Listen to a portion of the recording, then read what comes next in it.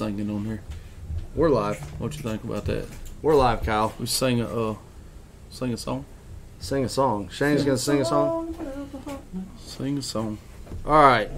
Rusty Hooks live, episode number I don't know. thirty-eight. Is it thirty? I think. it's been a lot. It's been a while. Corey, it's good to have you here with us tonight. Thank you for having me. Um, we are gonna dive right into the nitty gritty of it all. F ones and spotted bass. Okay. I'm gonna let a few more people get on here. And Brandon, I know we're late, sir. There were two people that had to use the little boys' room. We had to make time for. He Um, can't fuss. He ain't even here. Unfortunately, Brandon is not with us because He uh, took the week off. he took the week off. He he needed a break. So, we have Corey here to answer any questions about the F1 stocking experiment. We'll call it. I is it a program We yet? take questions later. Let him let him explain what he needs. That's to, right. That's right. What he needs to talk about, Is it a, is or, it or what we need him to talk about. is it a program yet, or, or what? What's the status here, sir? Well, first I'll introduce who I am so that everybody knows who I am. Um, I'm Corey Oakley. I am the uh, Piedmont Fisheries Supervisor uh, for the North Carolina Wildlife Resource Commission, and basically my work group covers um, from basically the, the southern half of the Catawba drainage. Um, east across the Yadkin Pee Dee, and then the, the Triangle Lakes, and then over into the, the Roanoke drainage. So that would be Gaston and Roanoke Rapids and all that area. So Okay. uh, we cover a lot of areas. Um, as far as the F1s, no, it's not a program yet. So what we decided to do was start uh, an experiment um, at Lake Norman to test whether we could augment or enhance the largemouth bass population uh, with the stocking of F1s. And so uh, the the Lake Norman Legends group uh, approached us about uh, being able to help us in that and provide fish for us um, with that. And so they're helping with with purchasing the fish. But our plan right now is to um, stock fish over the next few years and watch how um, those fish progress through the system. We have them tagged. You won't be able to visibly see them tagged, but we have them tagged. But we'll be able to see how they progress through the system over the next few years, see if they're contributing to the largemouth bass population, and see if there is a difference in the overall condition and potentially in the overall numbers of largemouth at Lake Norman. So that's that's the whole crux of, of what the project is about in real short term. All right, Shane. Well, I'm I'm listening. I'm listening. I'm trying. I'm trying to learn tonight. I don't want to. I'm all ears. Don't, yeah, obviously. well, I, can, I can sit here and talk for hours, but that's Yeah. probably not what Well, you want me to do. no, so- I I mean, mean, we, we actually know- do. We, we we're the goal with this is to educate people ab- and, about and, what and, it's. and us too, because I mean, you know, dude, you got you got this group over here, nine nine nine, this group over here, nine nine nine, and you guys are kind of in the middle. So by having you on here tonight, hopefully we can get the two groups together. And you know, I had I had a discussion with with somebody the other the other day about they were fussing because I was against this whole thing, and I'm not at all against it. I, the only thing I was against from the get go was killing all the spotted bass.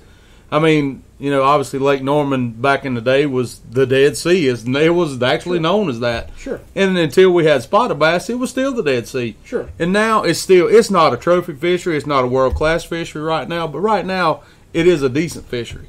And you know, when me I travel all over the the, the United States bass fishing. I've been to all the held smallmouth lakes, all the largemouth lakes, and sure they're great, but you know, it's still nice to come home and have somewhere decent to go fishing. Understood. And and by and by saying that, you know, I don't want I don't want anybody to think I'm against what's happening at Lake Norman. I'm 100% all for it. Like I said, I just don't want to kill all the spotted bass. So- and, and if whatever we got to do to improve it, you know, I'm I'm I'm willing to do whatever I can to help it. So I'm going to make this statement here, Corey. I said earlier I would debate on it. Facebook is full of biologists. Sure. Okay, especially Carolina Elite Series. I'm sure you do. Uh, all, I'm you sure know, you eh, do. Facebook's full of biologists, and there's only one person that I know that actually has a certificate. I'm Well, assuming there's that's more than that. framed. It's a degree that says I am authorized to talk about this, know about this, and to share data about this. Sure. So, the goal with this is to educate people, to to clear up questions from the people that aren't necessarily in favor of it, or think it's a dumb idea, or think it's just not going to work Understood. and also reaffirm to the guys that are 100% for it what they're doing. And Yeah. You know, first first question that's popped up here is uh, Matt Haywood asked, "Why is the state not helping with funding?"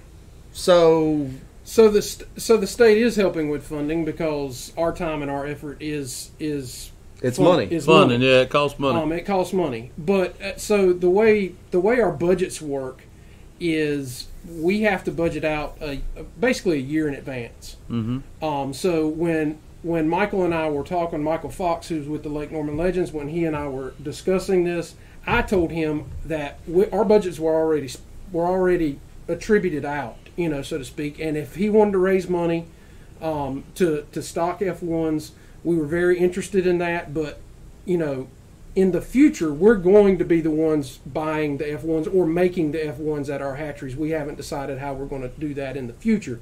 But for this year, um, we just couldn't do that. We just didn't have the money. We it was already allocated out to a bunch of other projects that we were already working on. and a lot of a lot of I don't mean to interrupt, but a lot of people don't realize that that these things are, especially when it comes to state funding, these things are laid out years in advance For sure. as to, and, and there again, um, the other day, you know, I, I talked, I was talking to have a conversation with this person. I'm not going to call any names, but you know, I told him, I said, I'm thankful, glad that you guys got together and went to the state with this because.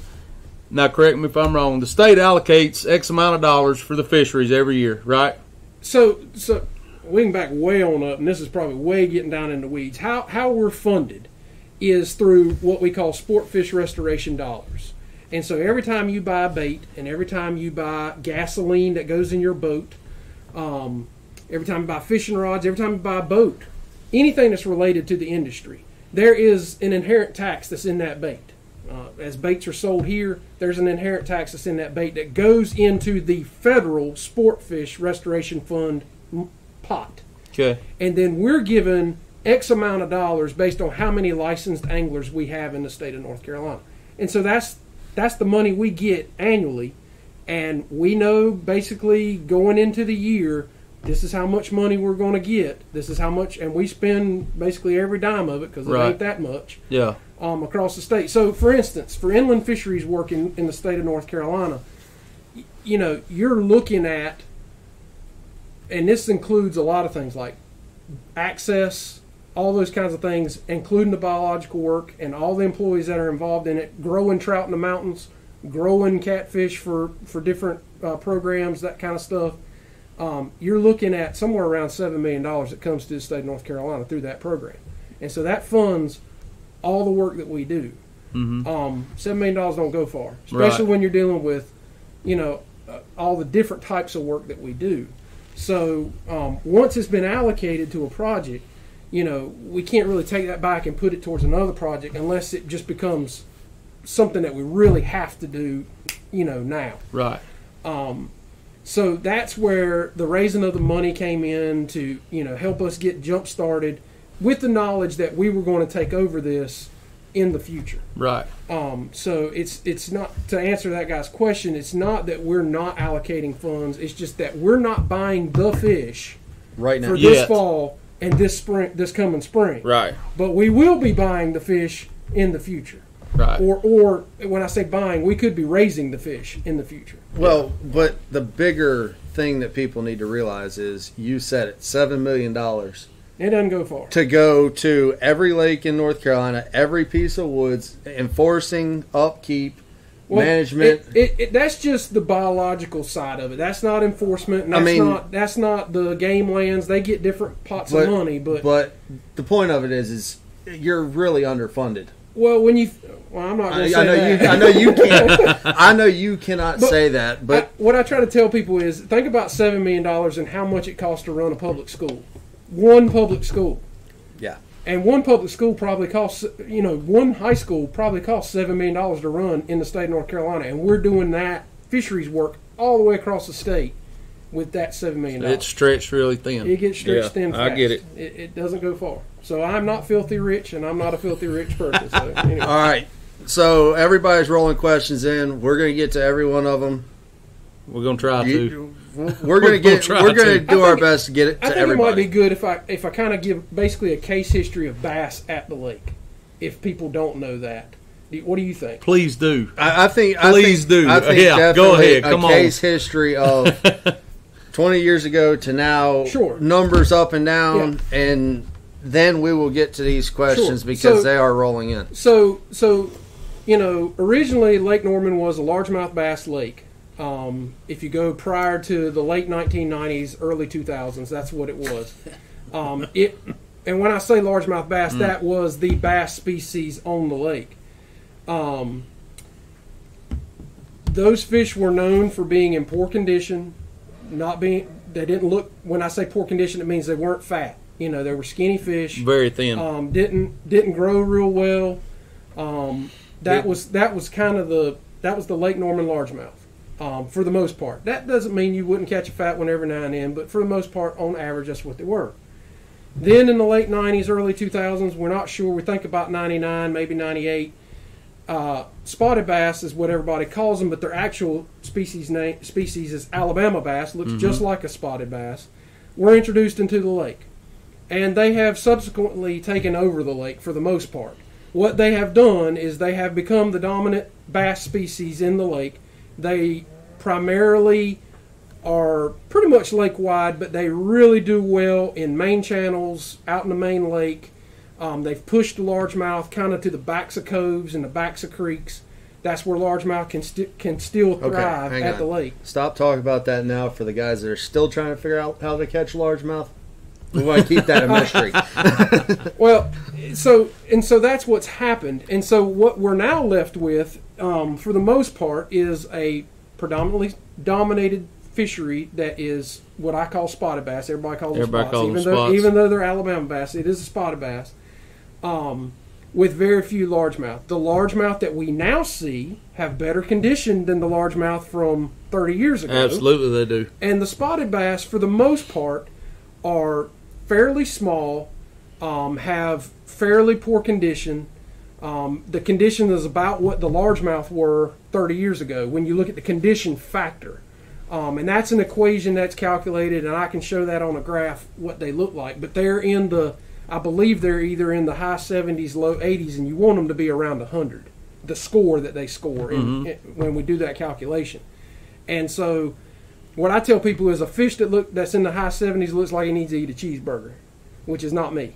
Yeah, You know, it, it- you know, it's it's it's the skinny ones, and so that's predominantly what we have. That doesn't mean you don't see spotted bass. Um, you know, get to three pounds or get to four pounds. You know, those fish do occur, um, but what we're looking at as biologists is not what anglers look at. Anglers are looking at what you know my best five for the day. What we're looking at are the fish as Your best fifteen hundred for the day. it- well, maybe not fifteen hundred, but my best five hundred. yeah. You know, and and my five hundred show me that we are dominated by smaller, skinny fish in the system, and so that's what we have at Lake Norman. So the impetus for the project, uh, the F one project, is really not about Alabama bass. It's really about largemouth and trying to make largemouth bass better, um, and trying to get a little bit faster growth rate, hopefully a little bit better condition, um, and like I said, if they can increase their numbers somewhat through stocking, great.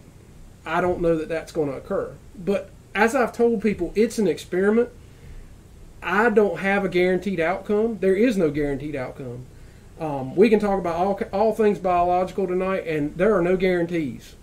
You know, um, it, that's just not the way the biological world works. We try stuff. Sometimes we fail. Sometimes we succeed. Um, but that's but if we don't try, we don't ever know. That's what I tell people. Right. So it's worth for the Wildlife Resource Commission. It's worth us trying to see if we can make it better. That that's all. I, I mean, that's not all I know to say, but that's what I know to say about those F1 those are product. the facts. It's Yeah, an those are- experiment. it's- That's those are right. the facts. It's not going to happen overnight. It's not it, this. We're you're talking honestly before we really know how well it's going to work. We're probably in the four to six year range. Which I mean, honestly, because you got to get fish to grow up through the system and get because that's really the fish that you guys catch Mm-hmm. is really from about age three to about age seven, and then you know those are the dominant fish that most of largemouth and and and even the spotted bass. A lot of those fish are age three to age seven. All right, now you're talking about the your, your time frame here. What is what is the growth rate of let's say a northern strain largemouth versus the F1?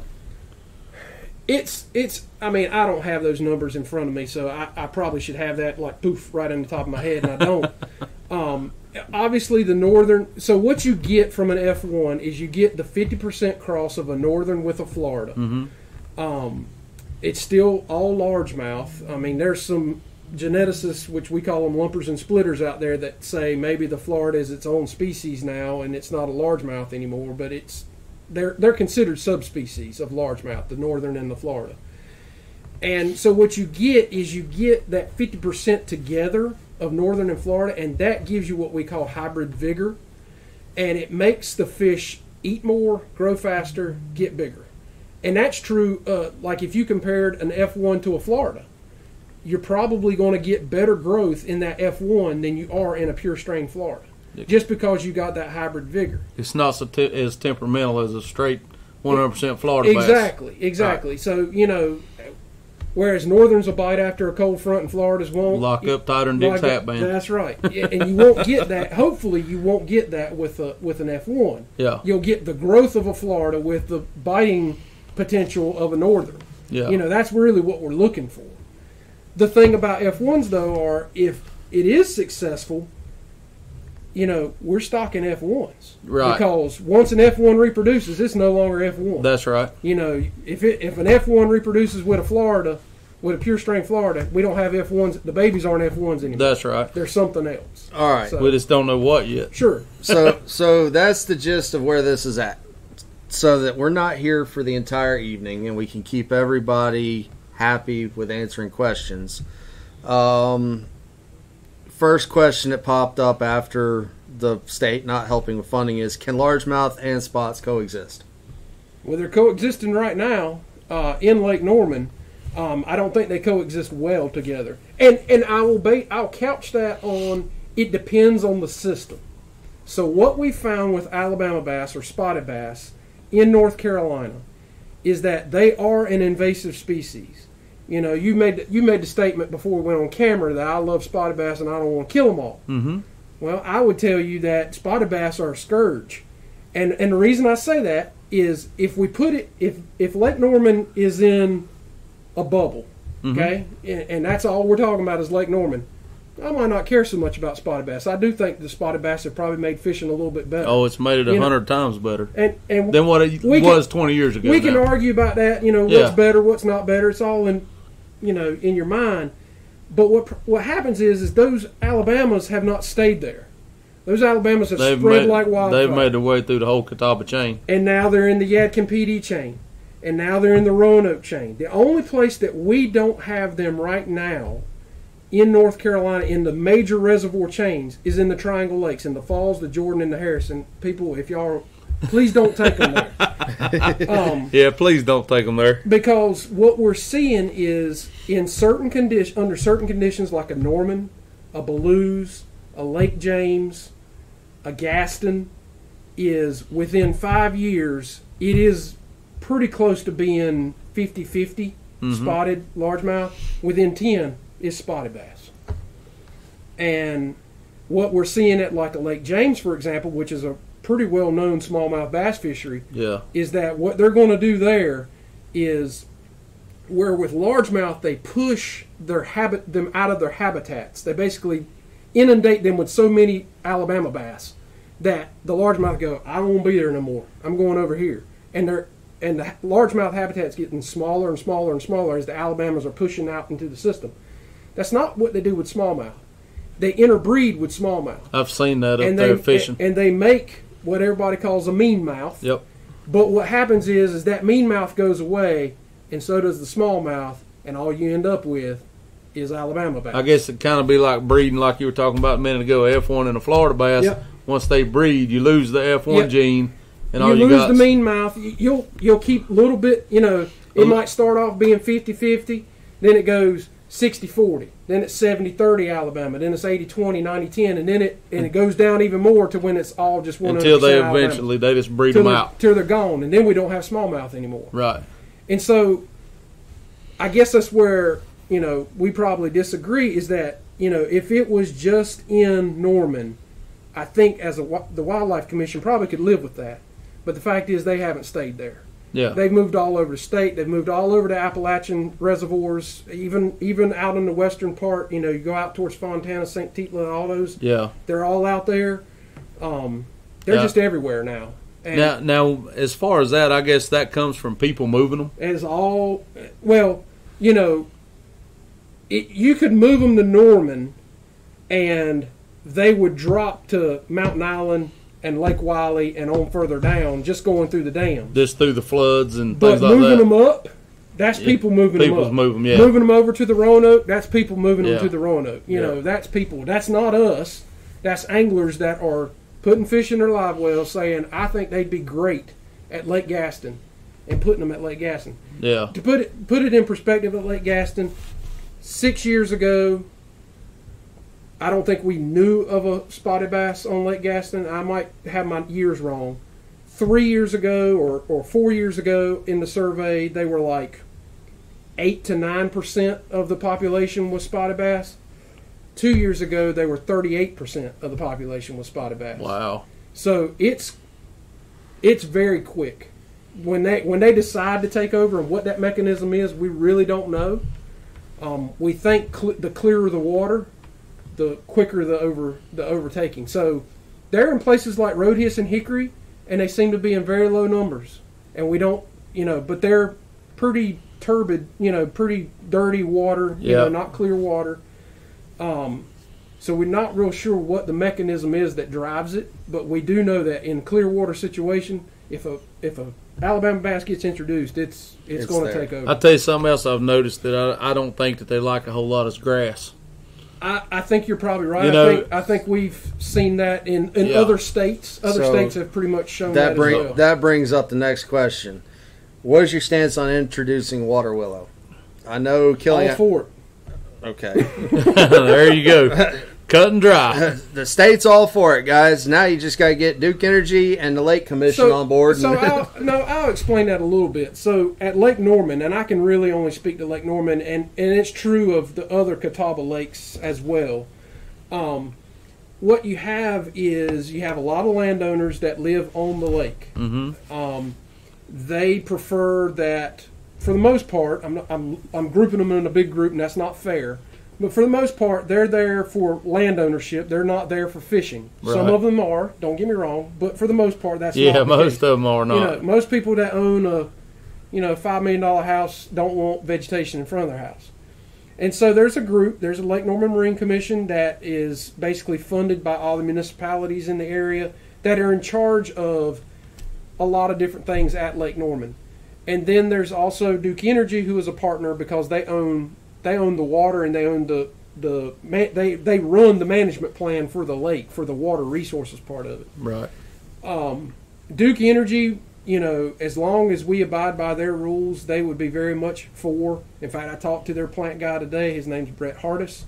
Um, very, very smart guy about plants and is wanting to, you know, if we can put plants somewhere on Lake Norman, we want to do it. Um, we need something. the, the, and we know that. And so it's not, it's been tried. So that's part of it. We have tried water willow in places in Lake Norman. And the biggest problem with introducing a plant to Lake Norman, it, particularly like water willow or the, these shoreline variety plants, um, the things that come up out of water stick to the shore, is the wave action, boat boat traffic. Boat traffic just beats it to death. yeah. And so that's the difficult. So what we have to do. So for instance, if you go up in the river you see a lot of there's a lot of maiden cane up there along the shoreline, unless it's been blowed out from the recent floods. but there's a lot of maiden cane around those islands, eh, which looks it doesn't look like water willow, but it's the same kind of plant. It grows right in the water's edge, comes out maybe maybe six to seven feet from the shore, and it's big, thick green stuff. It's a little thicker than water willow in terms of its density. Um, but we have a lot of maiden cane up there, but we also don't have a lot of boat traffic up there. Um, and that's why I think it's gotten established there. Whereas, you know, down lake, it, I mean, we've tried to do it like at Lake Norman State Park, tried to establish water willow there, didn't make it. And part of it is soil type, even though water willow pretty much grow in concrete. um, part of it's soil type, but for the most part, it is, it, it's basically boat traffic. So we're going to have to find places that don't get that heavy boat traffic to establish those shoreline type plants. Um, I'd love to to plant like a um, like an eelgrass. There was eelgrass that was growing down. yes, we had a lot of eelgrass. down and well, the, it- the it grass carpet wiped that. It out. was from Ram. It was from Ramsey all the Oh, way, yeah. all the way up, almost to what we call no man's land. Yeah, we we would love to see something like that establish itself, but I just don't think there there's just not enough momentum.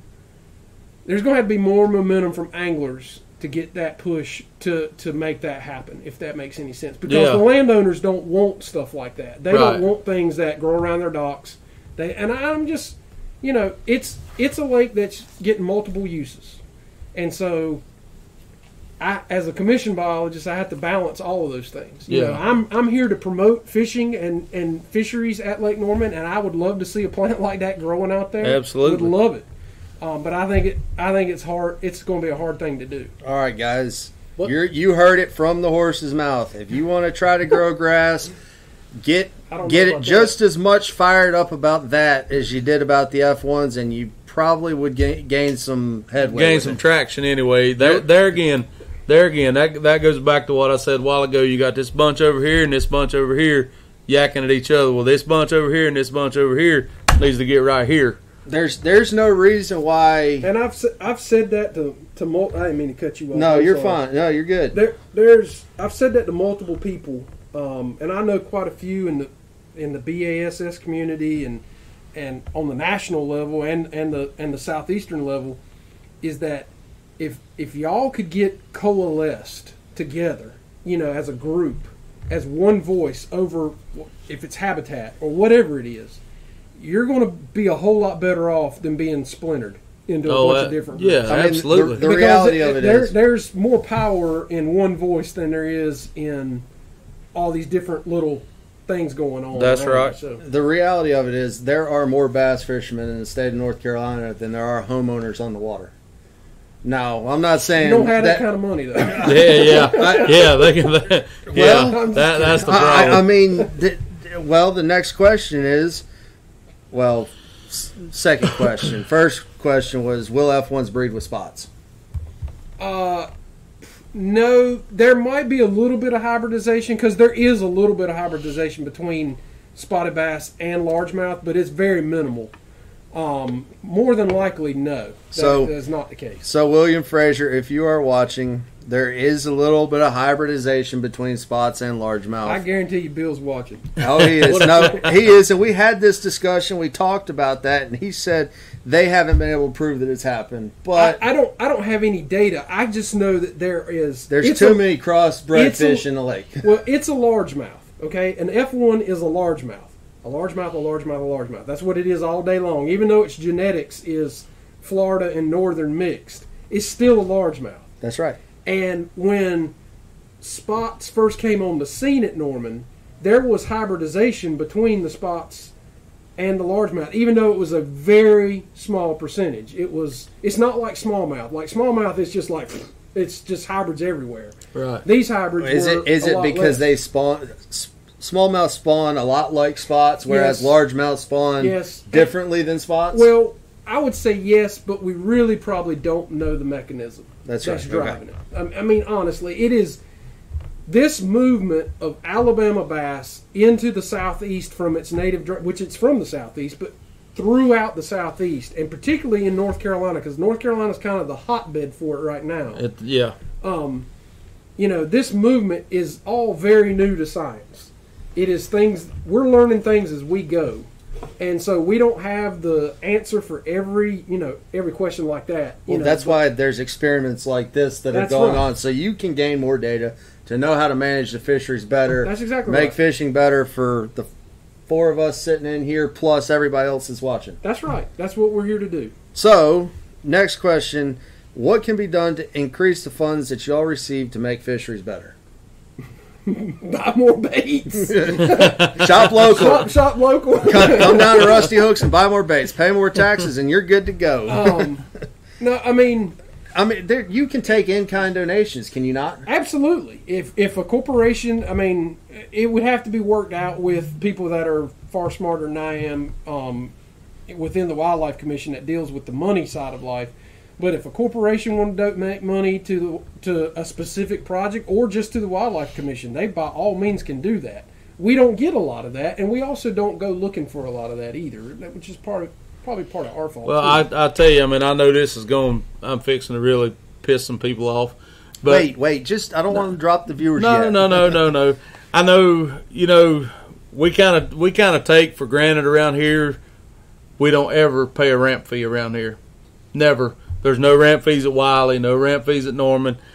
You drive away from this area. You cannot go anywhere on the lake without paying money to launch your boat. I've been Murray, Hartwell. I mean, it's five bucks, whatever. If you if you go to like somewhere like Smith Mountain in Virginia, I've never launched for less than ten dollars up there because they have limited access, mm-hmm. and that's just what they charge. If you go up to like Potomac River, it's 20, 25 Oh, bucks yeah. to put your boat in the water yeah. because they have limited access. I mean, and I I personally wouldn't see anything wrong with doing that here. If it if it if the money goes back to the fisheries or to you- to you guys to to allocate for our fisheries, I mean, I wouldn't wouldn't want to sign up to pay a ramp fee to pad somebody's pocket. But if it helps the cause, I mean, hey, you know that's you think about how many wake boats and how many bass boats get put in at the multiple ramps that we have every year. I mean, you know, you're talking about a lot of money. That's out of my league. I'm, I'm, I'm just, I'm just, I'm just using that for an example. no, I mean, and, it, that's, and- that's a fact. and people, please don't yell at me for saying that. I'm just saying, you know, if we're going to put money towards making this better, let's do it. Let's go all the way, make it right. You know, I mean, whatever it takes. All right, Shane. Now that we've actually gained viewers, so Three viewers. um, Michael Kennard asked a question. He said, "How did the uh, what keeps the Alabamas from dominating the F ones like they did largemouth?" there there won't be anything to keep them from dominating F1. So so we're pretty much where we are at Lake Norman. There's not going to be. I mean, it may oscillate up and down. We may go, you know, 90% Alabama's, 10% largemouth. Then the next year might be 92% Alabama's, or it might be 84%. You know, it goes back and forth just on how well each species reproduces. So we're kind of. I don't. Can we show that slide? um, Is that possible? I can don't wanna do attempt. I can attempt to. okay. If we get kicked out, I will get. We'll get back on here. Well, I don't want to screw nothing up. So. I already did that. No, we're good. oh, we're doing it now. Okay, which slide are we trying to get to? Sorry, guys. Uh, go to that one. This one there. right here. Yeah. Okay. So this is this is basically our catch rates of largemouth in Alabama's over the last since ni- uh, mid uh, like ninety two, I think. and you'll you'll notice that you know from ninety two to two thousand, um, basically we didn't see an Alabama bass. Alabama's in the red, black is largemouth, and then you see Alabama show up, and you see this Oh, big no. spike in Alabama's. I don't know that this is gonna work. Oh, It's oh, up there right now. Uh, hit Well, that, but hit that button right there. Hit that button right there. There we go. Okay, Hey, Yeah. we're getting it. Brandon, sorry, Yeah. not trying to botch your job, sir. Sorry. So uh, once it kind of goes over, you'll be able to see it. But you'll notice that we are where we are since about 2006 for the most part. Largemouth really haven't changed. Alabama's fluctuate back and forth for the most part, but they're pretty much the dominant species, and they're kind of everywhere. So go back, going back to your question, you know, will they dominate the F1s? Yes, they will. But that's not what we're trying to do. What we're trying to do is isn't augment that black line See that black line there? Mhm. We're trying to augment that black line. We're trying to make those.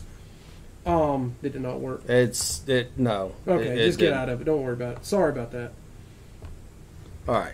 Somebody, somebody smarter than us that's not here. Well, I, I, I, the resolution size is off, but I'm not sure if I can fix that mid program. That's so fine. Don't worry about it. sorry, guys. Um, so what we're trying to do is augment that just that largemouth bass, and what we're trying to do is make those largemouth bass grow a little faster, try to make them put on a little more weight because of the F1 hybrid vigor, and hopefully maybe put a few more largemouth into the system.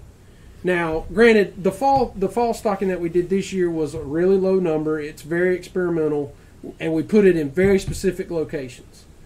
Um, the the spring stocking will be a much larger stocking, but the fish will be smaller. So it'll be even a greater number of fish, so that we can have more effect. But um, if you want to learn more about that project, I should have said this earlier. If you want to learn more about that project, you can go to our website. We have a website up just for Lake Norman largemouth project. Um, and it is ncwildlife.org slash LKN in big letters and then black bass. So We will post a link. you can to post that. a link to that Yep. and, and everybody will be able to find it. It'll have information about the project, where we are with the project, and it will keep updating the project. In fact, there's going to be videos of us tagging. It's not up there now, but there'll be videos of us tagging the fish. You'll be able to see us stocking the fish. Um, you'll also be able to see our as we collect data from the field, how many of these out- of these F1s are showing up in our samples um, as we go through through time. You know, we can't. You know, we don't have any results now. It's just right. it's That way way too just early yeah, for that. way too early. But it'll it'll explain the project maybe a little bit better than probably I'm doing tonight. Is is the stocking project putting the horse before the cart if you don't address the cover issue first? Possibly. Well, I don't know that we can address the cover issue, and I'm not trying to just throw in the towel and be done. I think the cover issue is a much longer term.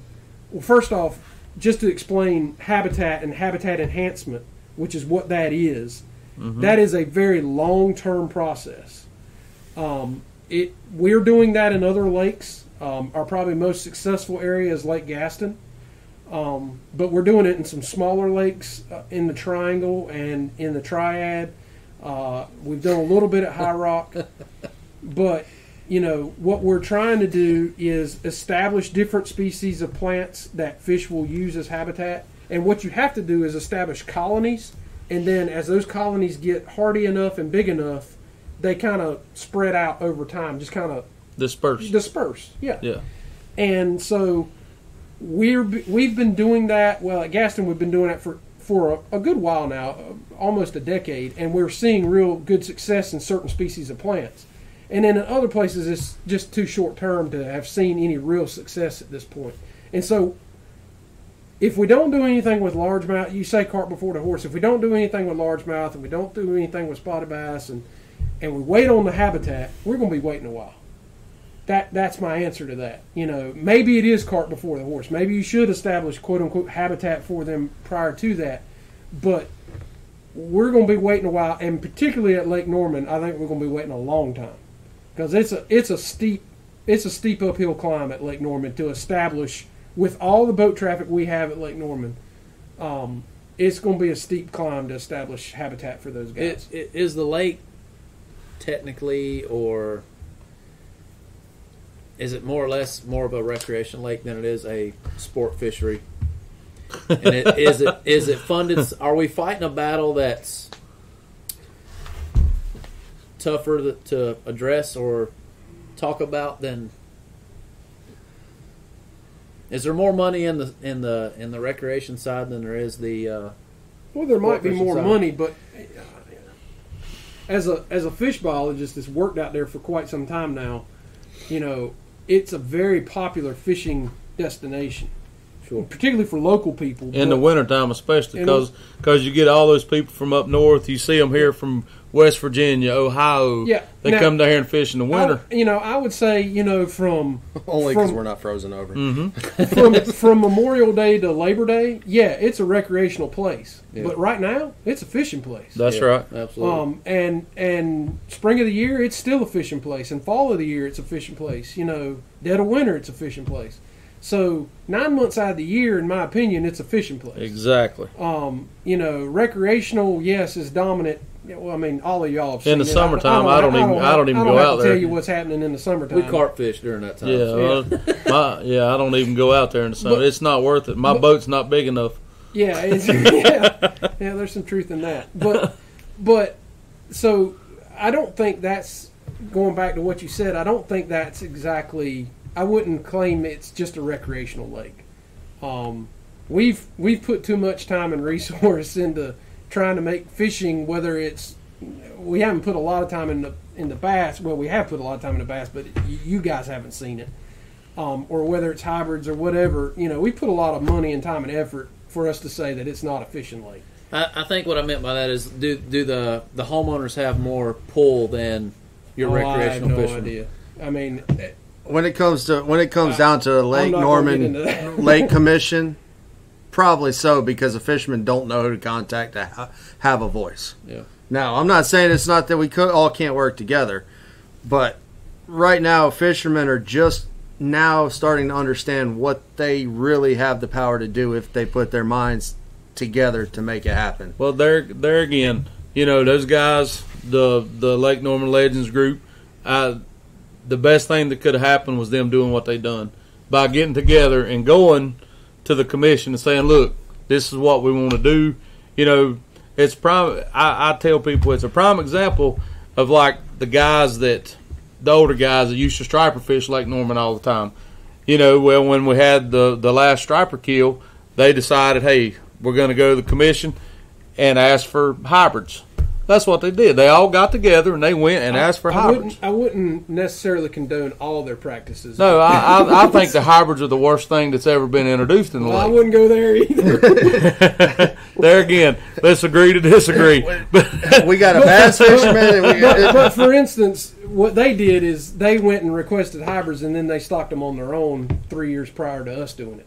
Oh, did so they? I wouldn't suggest. Okay, I, did, I didn't know wouldn't that. suggest I didn't going know that. down that route because that's illegal. All right, we got we got to stay we got to stay on track here. I mean, we're, We're on track. We're on track. We're on track. There's a lot of questions. Yep, I got some too. I know you do. You'll get you'll get your time at the There, end. 'cause there's a I'm- lot of drama and just The problem extra questions that aren't scientific or actual that is involved in this podcast. The- That's why it's It's fine. I'm, The- I'm the- it's the way. the pro the well, it goes back to everybody's got a biology degree That's behind right. their keyboard. That's right. so But we're not trying to talk about and I don't, Nope. under- I don't understand that. I don't understand how all of you have biology. I don't either. Well, I- because we I- all I- fish, sir, we have rods and reels Yes. and boats, and we know it all. I feel like everybody, There you everybody go. I that said it. fishes or donates their money feels vested into the thing, and they've they've all got their opinion, and they I don't know why my comments will not let me scroll back up, but Mike Langford, who has been a part of the He's a part of the Lake he's Norman Legends. he's a, he's been a big portion of the paperwork end of getting them set up as a nonprofit and helping them do it the right way. Sure. A- And he's been asking some questions on here about you, you know what's the long term goal for this experiment for you as the Wildlife Resource Commission to expound on that so everybody gets a fair shake. We can ask the bad questions, but we can also have the good information Sure. too. So, um, what I what I would say is the long term goal of the F one project is to make largemouth bass fishing and fishing in general better at Lake Norman. Is to grow the size, get them bigger um, through that F one hybrid vigor. That's the long term goal. Um, if we see that it works, you know, the commission knows we're on the hook for raising F ones for a F1s. while. You know, for But- you know that that's what we're on the hook for. right. Um, so we get that. Um, you know, I, I don't know how I can be that. I mean, that's that's plain. That's as plain as I know how to make it. Right. Is we're trying to make largemouth bass better because we have a section of anglers that love largemouth bass and want to make them better, and and I'm for that. Um, you know, from a from a biologic biological perspective, we can maybe try to do things to make Alabama. I mean, Alabama bass are here.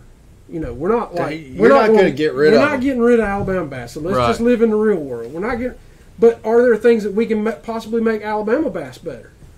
Maybe, but we got to be willing to talk about those things. Yeah, and and You that, know- that and that's what that's what I said from the get go. I mean, I understand. Yeah, there's there's too many in the lake. I mean, I I agree with that. And do some of them need to be harvested? Absolutely, 100. percent But that being said, you know, there's people talking about just doing away with them, and, and we can't do that. I mean, Well, that's not. It's You're not gonna do it. You're away not with. gonna I do don't that. care what. unless we unless we drain the lake and get rid of every fish from the top of the Catawba all the way down, which ain't going to happen. Right. We're not getting rid of Alabama bass. They are here to stay. Okay. So then the question becomes, how can we make Alabama bass? Maybe that's the question you guys want to talk about. I don't know. Um, well, there's you know a thinning of the herd would help, and it's going to take a lot of thinning yeah, to help that. And I, and I'm not, you know, uh, you know, I've heard arguments. Well, we shouldn't have put out the rule to get rid of Alabama. Didn't put out the rule to get rid of Alabama bass. No, I said I'll, I'll take ownership. I questioned you on that earlier. Yep. There's several people that have asked Yep. why advise to kill spotted bass. I think based off of our conversation, you're not going to hurt them. You're not So, going to hurt them. You, That's exactly you right. as fishermen need to be conservationists. you're go, you're going to actually help them. That's right. Take fish out of the lake, eat them, take them to Raptor Center. What you do with them is on you. Don't Whatever- move them. Don't move. 'em. yeah. just don't 'em. take them to another lake. If you do move them, move them to the Atlantic Ocean. I don't think they'll make it there for very long, and they'll feed some sharks. Maybe. Um, just just a thought.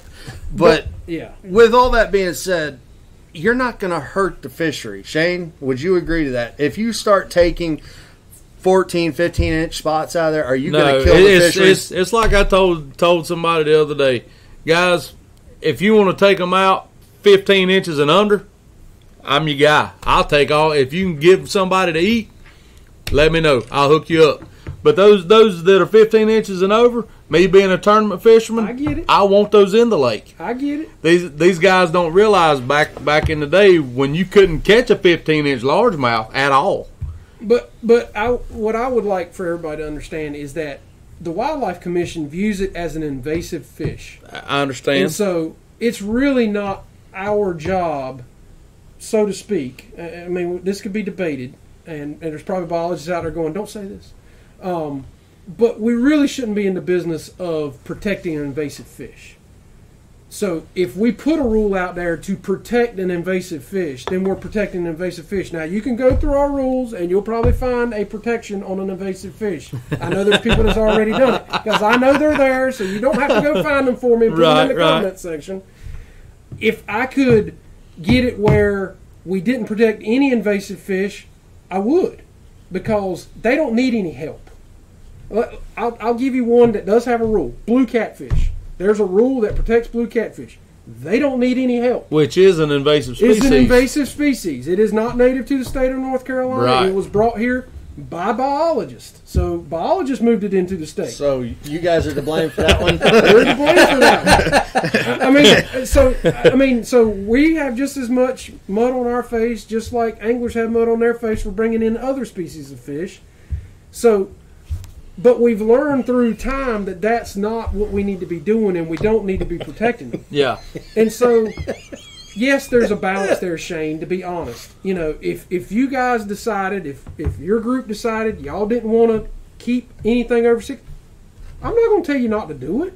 I'm just telling you, as a commission, we don't need to be in the business of protecting an invasive So- species so- fish. If it is Gotcha. invasive, if it is the And there's all there's native invasives and non-native invasives. if it's So- the dominant fish taking over the lake, why not support that in making it you know the biggest eliminate the smaller fish or you hear people talk about pond projects where you've got too many small fish Yep. you know eliminate the small fish. that's fish the basis of of all biology. you know uh, you know we've You're always working said with uh, a biomass. You're looking with.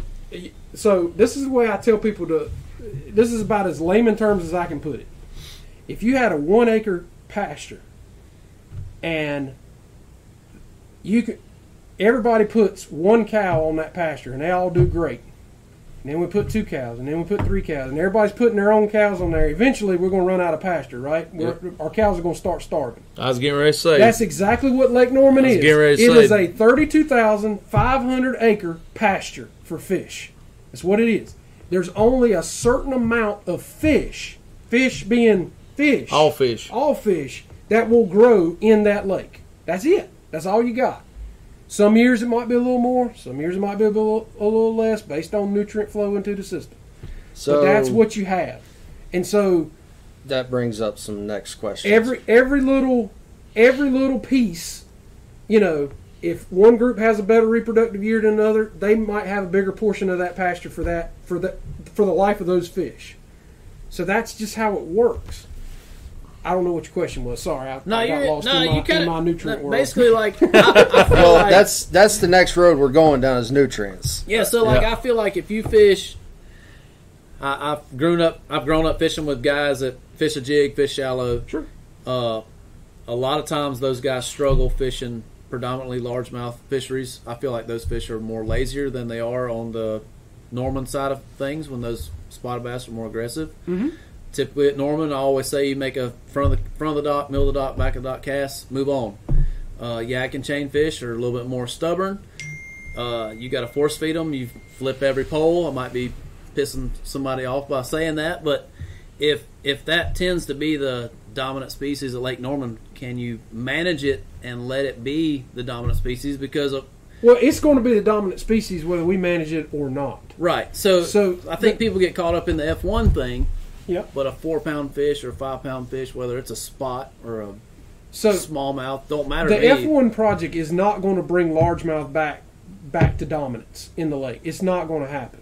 So the, it's the, people getting confused that the F1 project is to bring largemouth back and get rid of Alabama bass. That is not what this project is That's about. that's what it cannot work. It will not work. What we're trying to do with the F1 project is to make what largemouth bass we have better. Better. That's what we're trying to do with with the F1 project. Now, So can we make are you back to gonna, that? are you going to turn Lake Norman into a Smith Mountain? Because that everybody keeps pointing the finger at Smith Mountain. Oh, look what F1s did here. I can't guarantee that we are going to turn it into a Smith Mountain. If it does go into a Smith Mountain, fantastic. Uh, but but, the miracles two- do happen. miracles do happen. But there they again- are they are two different lakes. So what everybody has to realize about Lake Norman, if you haven't already, is that any type of fish growth, whatever it is, it's a hard battle for fish to grow at Lake Norman. I don't care what species you name it, they all struggle to grow at Lake Norman, and it's because of nutrients. If you catch a blue cat, I don't care how big that blue cat is, I guarantee you he's slower growing and skinnier than a blue cat from the Yadkin Pee Dee chain at the same age. They just they just are. So- and and so it's just a it is a tough environment. And I don't care how much habitat you provide, it can make it better, it can make for better fishing for sure. But you cannot get more and bigger out of Lake Norman over a long period of time because of the nutrient issue. It just it just doesn't work. So, So you have to either thin the herd and hope, or go ahead. What were you going to ask? You you were about. I think you were about to say it, but I'm not sure. So bringing more cows to the pasture may or may not be necessarily the best answer. So it's a, how an how do you fertilize the pasture? You can't Okay. fertilize the pasture. You are stuck with the pasture you have. So there is no That- way to. That is where the analogy of pasture goes away. okay. So, there is yeah. no way to fertilize Lake Norman and make nutrient sources better, with the exception of adding some grass, which may or may not grow because they take nutrients to grow as well. Yeah. So the way the food chain works is nutrients flows. Nutrient is flowing out of the creeks and out of the Catawba River, coming out of Lookout, Lookout. Shoals. Okay, that's what's happening.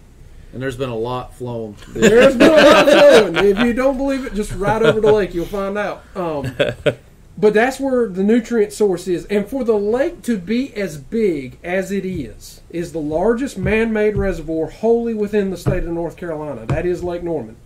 To be as big as it is, it has a very small watershed. Very small. If you look at the creeks, they don't go very far. They don't bring in. They don't cover a lot of land. It's very narrow on, on that part of the Catawba. So there's enough. There's It's- not enough poo poo th- flowing into the lake. Exactly. So so basically what happens is that's why Lake Norman is so clear is because the nutrients get used up very rapidly. And so there's no and once they're used up, they're used up and there's none left to have. Whereas if you went to a lookout shoals, there's a lot more nutrients there. Lake Hickory, there's more nutrients there. Um, So we need some more cousin Eddie's upstream. I'm Christmas, not- Christmas well, there's a, there's a couple of things, and this has been historic at Lake Norman. Lake Norman has changed somewhat. It's aging, so that has an that has an effect on reservoirs, and the the watershed has changed. What's happening around the watershed has changed. Used to have a lot of agriculture in the upper end of the lake and in o- in the western half of the lake, western side of the lake, mm-hmm. and all that's gone. That's all houses now. It's all people. So you, And so, the, the what nutrients you get now are from people's lawns, off of roads, which ain't really nutrient. You know, it's more chemicals than it is nutrients. So that's what you're getting more so than you're getting. You know, fr- if you get agricultural runoff, you get that dirty water that provides. You know, you get fertilizer from the farmers' fields. You get oh, if it's a cow pasture, you There's get all that. runoff. There's runoff, and you're getting all that nitrogen and phosphorus coming into the lake. So when you don't have that anymore, you know it's it's not good news for the lake, and it makes it just makes it makes growing fish hard. It just does. so I'm gonna ask a question. Might make some people mad, but it's a funny question. Would the money put towards stocking F1s do better buying truckloads of 10, 10, 10? No, because and, and so so here's the thing. Here's the thing about that is that it is on such a massive scale, and it and the thing about nutrients because it is a still it's still a flowing system. Nutrients are flowing in and out, right? Yep. You have to have it coming in all the time. So say we say we say we hired the military to dump you know 10 10 10 from the sky across the lake and it all turned green today well we're going to have to hire them two weeks from now to, hire, to, to do 10 10 10 again Yeah. i mean you, you know what i'm saying No, it, it, again, I, I'll make the comment in jest, but it- it- the, ne- is- the next pe- the next thing people are asking is is bait. Okay, Jody Wright, catcher lures, wants to know what's your stance as far as the state, and you may not be able to take a stance on it, but what about stocking bait? it's a waste of Whether time. whether it be at lake norman yeah, it's a waste of time um expound, please. Yeah, sure. Because once again, we are dealing with the nutrient load. And what do those what does that bait feed off of? That bait feeds off of that nutrients. Plankton. So so if you're I wish we could access this, but anyway. Uh, I, well, um, that, no, it's I'll play and see what no, I no, can no, do. no. Don't don't worry about it. I, I can do it this way. So say say this is your ball of nutrients down at the bottom of the lake that all your microorganisms feed off of, right? All your plankton and all that feed off of this nutrients. I mean, this is a very simplistic way of looking at it. It's a big, massive. Well. I mean, we need it simple so everybody But- can understand. But you got this ball of nutrients, and say this is Lake Norman's nutrient ball. It's about this size, right? It's going to grow a ball about this size of whatever thread fins, alewife, bluegill, whatever that is. Well, alewives, I'm. Well, you may be for them, but I'm just going to tell you that's the dumbest bait source that was ever brought in here. Well, I'm not going to say that I'm with it. So, I mean, okay. um, uh, they don't belong. They're another. It's invasive. It's- another it's invasive. Another invasive. So, Which was so- once again brought by striper fishermen. So yes, it was. So if, if if you have a ball this big of, of nutrients and then you got a ball this big of bait, it doesn't matter what you stock. That's That- your ball of bait. so so let's No matter if it's more alewife or if it's more threadfin or whatever it is, that's your ball of bait right there. and and so that brings me to several things that people are saying. I'll be the bad guy and ask it. So if it's a waste of time to stock bait because the lake doesn't have the nutrients to I know where support it, going. why are we? Is it a waste of time to stock F1s? Mike Langford, Michael Fox, Lisa Snyder May, and all of you. Don't shoot me. I'm asking questions so that So everybody here- can hear the Here answer. is the difference. What we're trying to do is basically replace the current largemouth with those F1s. So when I, s- if you remember, you can go back and and review the tape. More aggressive, more sustainable. There you go. More Okay. aggressive, get bigger, all those things, and and hopefully, so just because you stock a fish, for instance, say say we stock hybrids, hybrid striped bass. Don't bring that up. Because there's a lot of people talking well, about I that. know, I know, but say that's what we stock. Yep. That doesn't necessarily mean that their piece of pie gets bigger. It could, and somebody else's piece of pie gets smaller because it's a big pie. That pasture land is one big pie. But where the pie really doesn't change is the nutrients really don't change, and the group that's just above it, which are like the bluegills, the the the shads, all those things that feed on that nutrient load, they really that piece of pie stays the same. It might, like I said, it might get chopped up in different sections year to year. It changes year to year. But then that bigger piece of pie that's above it, those all those predators, crappie, catfish of every species you, you can name, hybrid striped bass, largemouth, Alabama bass, I'm probably missing some. White perch, white perch are That, the that's- white perch are the biggest detriment to the Catawba chain ever. no doubt. But but that's so another topic. That's another piece of pie that's feeding on that piece of pie that's in the middle, right? Mm-hmm. And so if we stop F1s over here, we may take a little bit of the pie away from hybrid striped bass or a little bit of the pie away from Alabama bass or a little bit of pie away from white perch or we might not do anything. That's why it's an experiment. We don't know the answer to that. But to, to say we can't stock anything because it's just a waste of time, period, that's not what I'm getting at. We can go and stock alewives till we're blue in the face but we're not going to change the number of fish that's able to be eaten by predators by doing that. We might change the composition of the fish. So And so that's really where we're at with the F1s. We're trying to change the composition. Maybe we add a few more largemouth, but we also change the composition of the largemouth. That they might grow faster, they might get bigger, they might be more aggressive, as he said, you know, in biting. That's really what we're shooting for. Is trying to basically it's an augmentation is probably the right word of the largemouth bass population. This is probably not going to change anything when it comes to Alabama bass, hybrid striped bass, white perch, any of that. It So- probably won't change any of it. so again, recap a little bit. And I know it's hard for everybody to understand that. Es- essentially, you're talking about Shane Lineberger sitting at Thanksgiving table with a handful of guys Kyle size, and there's one pie. Who's going to get the most of that pie? Reality is that Shane is. He's bigger guy, Nah, but technically, what he's saying is the aggressive person. And and that's where okay, Mark Shane Sil- would be the largemouth. I would be the spotted bass. Mark Silverthorne is he brought up if the largemouth don't thrive, then now why would F ones? You stated why they may thrive is because they're more aggressive than That's the exactly largemouth we have. That's Period. exactly right. End of story. No other comments to be made. Is they are more aggressive. It is an experiment. Give it time to work. If you want to And I can't sit here and guarantee that it, that it's going to do what we hope it to do. I can't do that. That's science. No, no, it's it's an You know, experiment. yeah, People need to science. understand that if you donate to this cause, kudos to you for doing it, but you are donating to an experiment to learn what the potential is. You know what? Five years from now, everybody may say, you know what, enough of this. We're going to try to manage spotted bass and make spotted bass the best it can be and try to compete with Lanier as a spotted bass fishery. Eh. We don't know. And and I will tell you that it's no matter what the species of fish you name it at Lake Norman, it is an uphill battle, no matter what it is. Whether that be spotted bass, whether that be whatever it is, it is a tough place. I say it over and over again. It is How- a tough place for fish to grow. How effective would it be since there's a didn't the state reduce the, the size limit on creel limit size limit on spots? No, there is no creel limit. There is no creel limit. No So size limit. If you How- catch two thousand of them, take them home with you. How effective would it be for somebody to host a a poundage tournament if they're wanting to do something? Say 14, 15 inch spotted bass or less, just do a poundage tournament. So it's just, I, I, would that reduce the mouths to feed and Maybe. help it, maybe so. or would it take years to to do? Well, it's going to take years. Period.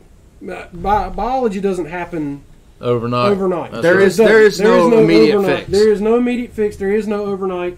People got to understand that this is not in our culture today. We are all about the quick satisfaction, and that does not work in the biological world at all. right. So, what it would take for, and and this is to potentially potentially Sure. make spotted bass better in the lake is yes a thinning of the herd and it would have to be a consistent thinning of the herd by anglers. There's nothing we can do as an agency to thin the herd enough. We just you guys put your hands on more fish as a group not individuals but as a group than we do for You think, sure. you think Dave Anderson could eat that many spotted bass? He'd try. but but so when I say that, but here's the caveat to that: you can thin the herd of spotted bass, and that may or may not make spotted bass bigger. Because here's the caveat: white perch could come in and take up those nutrients and Yeah. those fish. I mean, Yeah. there could be That- another. that's that's the problem. You don't know what the next player is because it's biology, and you can't say to a white perch, "You can't spawn And this year." Unfortunately, unfortunately, Lake Norman, we it is a melting pot. We have added, when I say So we, much. people have added so much to the fishery. It is so dynamic, and there's so many things doing this to each other that it is very, very problematic. To say, I, I mean, I can't sit here and say if we thin the spotted bass herd. Now, do I think it could help? Absolutely. If you do nothing, I know where we are. We are where we are. Right. Right. Yep. Prob- you- probably going downhill. yeah, if you thin the herd, they're more than likely because they are a schooling fish. You will thin the herd where they get bigger, you know, because there's less spotted bass near each other, That's right. and so they will feed better and get bigger, and so you probably will see better spotted bass. But I can't guarantee that All right, now So- le- hold on a because minute. Hold spotted on a bass minute. and white perch, they like this on the lake. I mean, you find a spotted bass, you're gonna find white. You're perch. right. Now let me ask you this. This has always been my question. All right, we're talking about thinning the herd here. If we're going to thin the herd on spotted bass, Hey, don't clap so loud. I'm, I, I'm doing clap them. I'm just you be quiet. Okay. All right, if we're going to thin the herd on a spotted bass, which is eh, like I told you before, if they under 15 inches, I'm all for it. I'll help you. All right, why do we continually want to thin the herd on spotted bass? Then we're going to turn around and stock it full of hybrids. What have what have we Stock accomplished? it full of hybrids. What have we accomplished? Are accomplished? talking about hybrid stripe. We are. Yes. Okay, so What have we accomplished? once again, um, I got to wear a bunch of hats here. I understand. Okay? So I'm just going. But you're the guy to ask. well, maybe Kind of put not. you on the spot. But No, that's fine. you don't put me on the spot. You're I, I warned. No, I warned him this was coming. You're not coming. gonna hurt my feelings. I don't want to hurt I'm your a thick- feelings. I'm a thick-skinned guy. You know, I don't want to hurt your As feelings. Kyle says, I don't Um, have feelings. um, what I would tell you is is that one, obviously, there are more anglers than just bass anglers. Okay, first I off. understand so that. There's a, there's a big contingency at the lake that like the hybrid striped bass, so that program's going to continue. Um, you know what I would say is is that the harvest rate of hybrids at the lake they don't stay there very long. Now, we've done lots and lots of work on those guys. I know you have. Uh, they don't they don't make it past age four. Spotted bass? No hybrids. Oh, hybrids. Okay. Don't make it past age four. I know you did the thing with tagging them and Uh, all that. they- I, I they- was I was a good recipient of a couple of them hundred dollar checks. They are literally, they are literally it, the the harvest rate is probably somewhere. We haven't crunched the numbers because the program just ended today. the The, the, the orange tags okay. just ended today. Um, we're probably looking somewhere between sixty and eighty percent annual harvest of hybrids, and that's like a crappie fishery. To give you some kind of idea, crappie fishermen, fishermen are going out, taking them home, eating them. Now- And that's exactly what's happening to hybrids. So when you say do we keep stocking hybrids, well, yes, and yes they do take up nutrients, and yes they do eat fish, and I get all that, but they're not the main player on the lake. The main players on the lake are the ones that have the largest biomass, and that's white perch and spotted bass. They're the main players. So- the like if you could have shown my mm-hmm. little thing that I made today. Mm-hmm.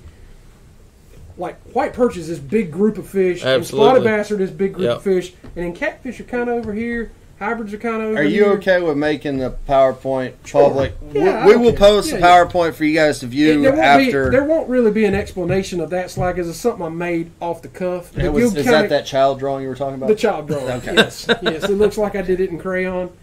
Um, but you'll get an idea of kind of if you look at it, it'll show you the nutrients at the bottom, and then what kind of feeds off of those nutrients, and then what feeds off of those things. hmm And and I kind of put it in proportion that there's, you know, the main two players of biomass on the lake right now, in terms of predators, is white perch and spotted bass. Yeah, white perch are. I mean, they're, They're we, everywhere. we've been out there before, and, and you catch two or three hundred of them. And the same thing, you know, you know, can thinning of the herd help them? Maybe, maybe not. Highly likely, highly unlikely that that would that would help them because. And here's the reason why: they reproduce like rabbits.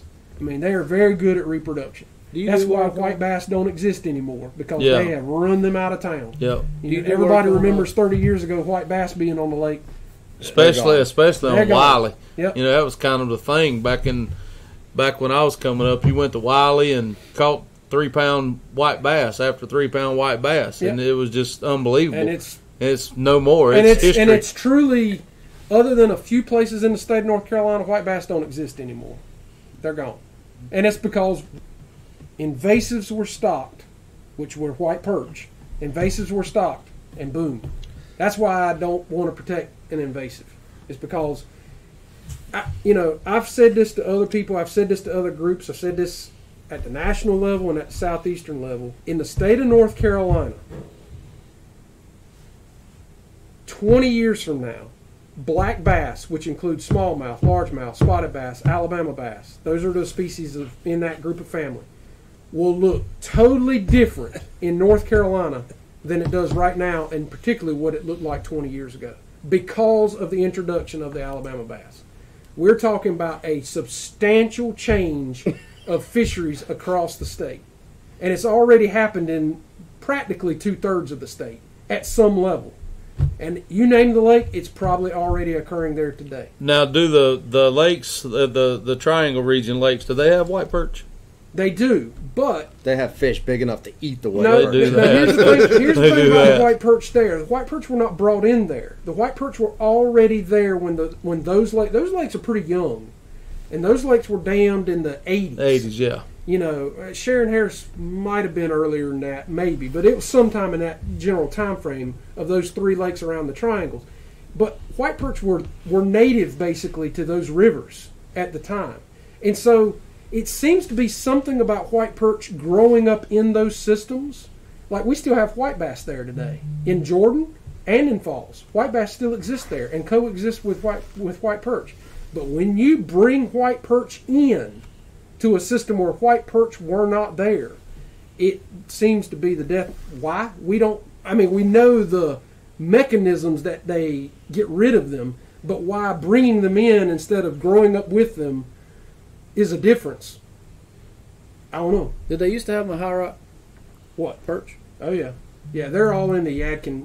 In the Yadkin. Seems like they're Channel. not- I thought have where. I, yeah, I thought Yeah, that's they're- where they were. They called them, uh, particularly in the Yor- lower Yadkin, they call them wakamas. Yep. That's what they call them. Yep. So they've been there. They've been there a while. So, curiosity question. There, somebody made a comment about it. If I don't know anymore. I'm out of my mind. you're you're you're, o- you're over the top, and we've blown your mind, and you know what? You got everybody's watching. Correct me if I'm wrong, but I think this has kind of cleared up some fuzzy areas for people because you did. You guys had your meeting, and that was put on live, but North Carolina hasn't had a platform to say, "Hey, here's what we're doing. Here's why we're doing it. Here's everything else." Yeah. It's all what fishermen say on Facebook, and that's where we're getting our news from. And and that's our fault. Uh, I mean, But honestly, it- it- we've we've created a vacuum that we needed to fill, and we're trying to fill it with information. well, and, and now and now you're gonna you're probably gonna be back on. I'm just gonna tell you that now. I know you're probably dreading it. You may not No, want any part of it, Dude, but you're fine. You're fine. I'm, Um, I'm fine. is and I may be dead wrong on this, but if you kill, say, five hundred thousand white perch, are they like coyotes in the sense that the more you kill, the more they reproduce? Or do you not have the data We to don't have answer the that? we don't have the data to know that. What I can tell you is that a sexually mature white perch is four inches long. So think about that at Lake Norman. Yeah, there's lots. like of There's those. all a of lot of four inch Yeah, white there's, perches. there's lots of those. There's lots of those. So they so what they do is they they typically reproduce very early in their life cycle. They don't live super long, but they they reproduce they they become sexually mature really early in their life. And that makes them great invaders. That really makes them a great invader.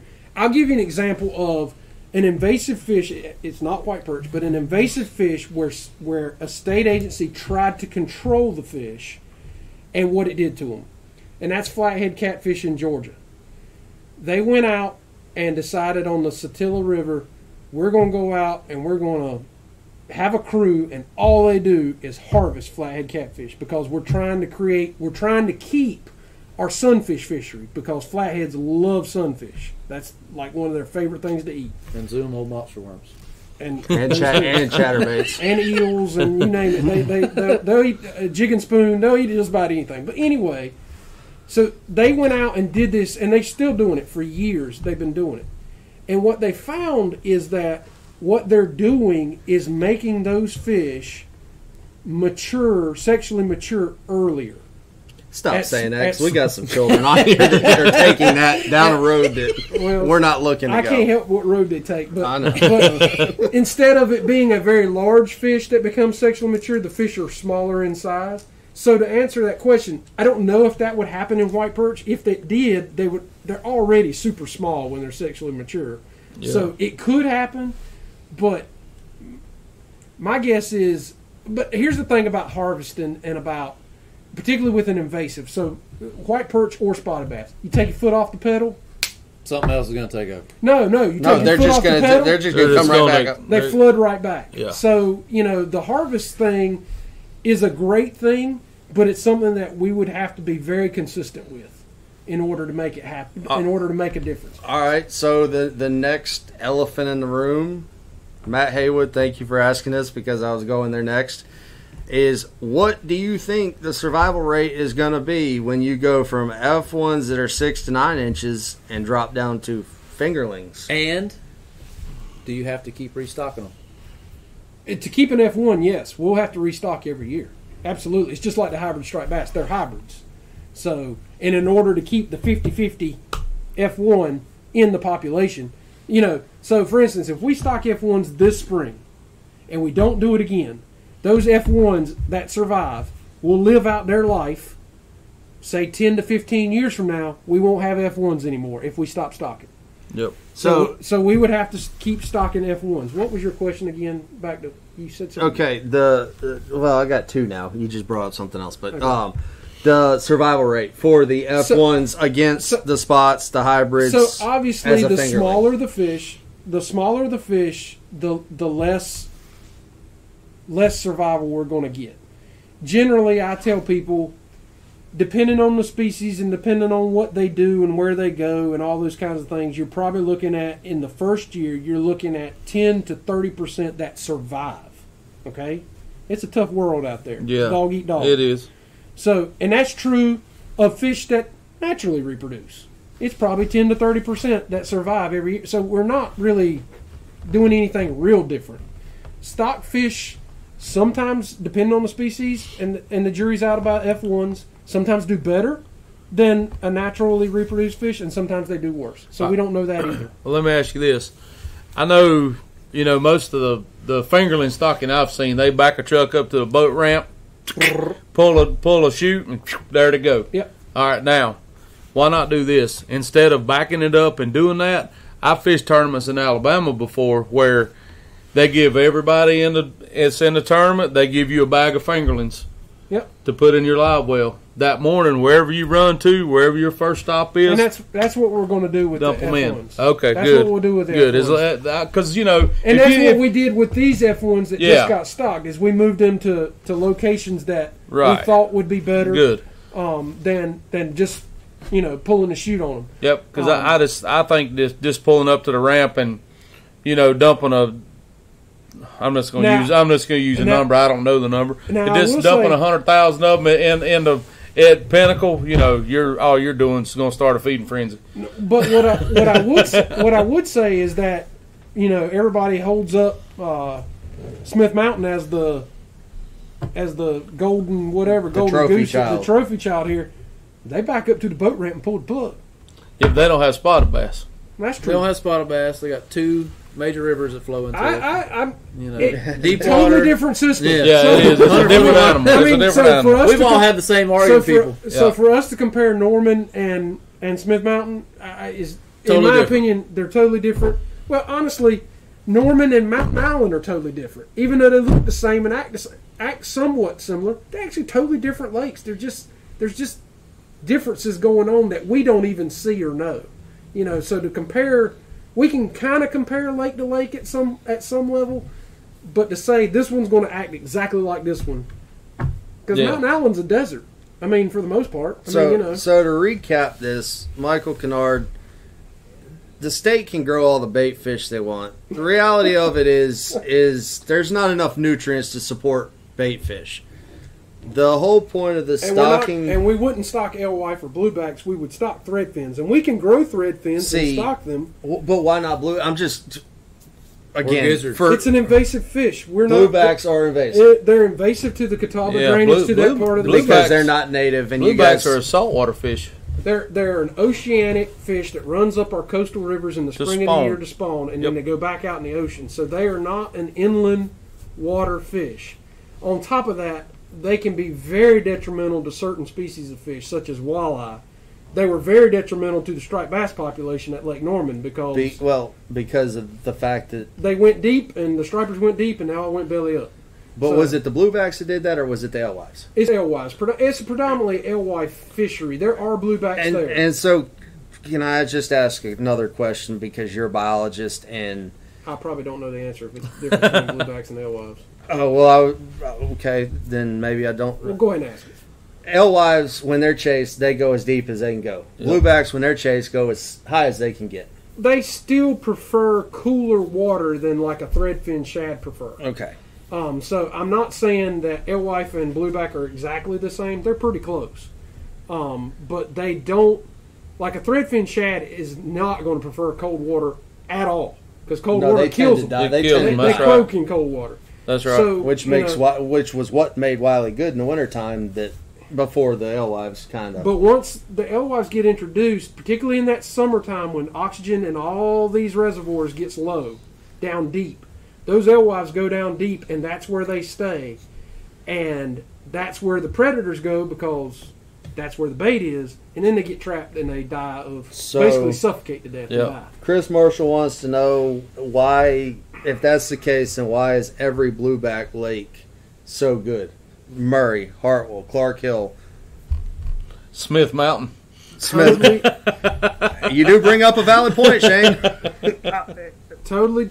I, I, I can't answer that. You have you have no. We we got a question. You didn't have an answer to, guys. well, I probably could sit and we could pontificate on that forever, but no, I mean once again you got to we're have trying data. to- we're trying. Yeah, I don't have data for that, and we're also trying to compare apples to oranges with Norman and a Murray, Norman and a Smith Mountain. You can't Norman do and- that. You can't. It's just apples to oranges. To say, well, if we don't do nothing but stock a bunch of bluebacks in the lake, we're going to make fishing hundred percent better at Norman. No, we're not. It's still the. It it doesn't matter if they're eating bluebacks or eating threadfin at, at, at a big at, at a level.